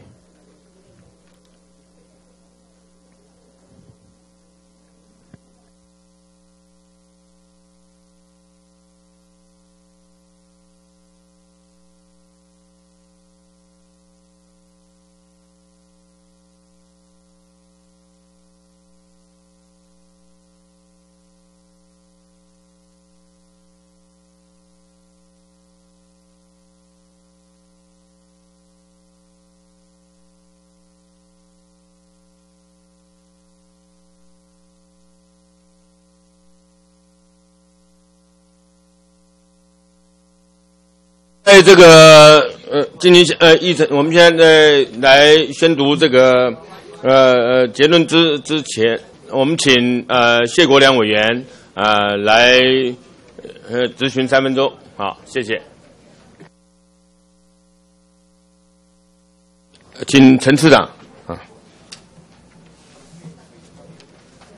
委员好，市长，这个法医司法哈是对，你觉得今天这样子修正完以后，你们法务部在应用上面，呃，你可以做什么样子的调整？跟应用上可以有跟委员报告一下，我我们法医司法呢，因为有华医师、医师，还有病理华医师等等这些的争议，那我们会立即的来做处理。啊，那个又会在最快的时候，那按照附带协议呢，我们两个月内先做一个提出报告。那整体的修法，我们要兼顾到华医师、这个医师，还有国际上的病理医师这一方面的话呢，我们会责成华医研究所呢，啊，那用最快的速度哈，我们希望能够半年左右就有个草案出来，好不好？好，那这个偏远地区的问题，我们还是尽尽量要来把它偏远地区是一个比较难解决的，因为一方面代役的问题的哈。如果我们刚才我们附带节里面有一个叫临用，临用法医师哈，避免造成流浪法医师嘛哈。那这个情形之下，因为还有代役问题，那这一方面代役结构。呃，我们会依照协议来跟人事总呃跟主计总处来做协商，将来看待遇上能不能增扩充这个目前用约聘雇的话呢，必须要用业务会。那这个预算结构就是这么这么这么一大块而已，这一小块而已的哈。所以呢，我们会来跟主计总处来征集预算来做处理。好好，谢谢，辛苦。来，来，呃，报告委员会，呃，行政程序法第一百二十七条及第一百七十五条条文修正草案已处理完毕。呃，本案审查完竣，呃，拟据审查报告，提报院会处理。本案不需交由党团协商，院会讨论时由吕召集委员协商说明。没有附带决议哈。嗯。呃，呃，报告委员会，《犯罪被害人保护法》第三条条文修正案，修正案啊、已处理完毕。呃，本案审查完竣，拟具审查报告，提报院会处理。本案不需交由党团协商，院会讨论时由吕召集委员协商说明。呃。呃呃，接下来进行讨论事项三。呃，这个我们呃呃法医司法呃部分条文修正草案已处理完毕。啊，本案审查完竣，拟具审查报告，提报院会处理。本案不需交由党团协商，院会讨论时由吕召集委员学章说明。啊，附带决议两项一并提报院会处理。委员王惠美所提书面质询列入记录，刊登公报，并请相关机关以书面答复。啊，本次会议呃到此结束，现在散会，谢谢大家。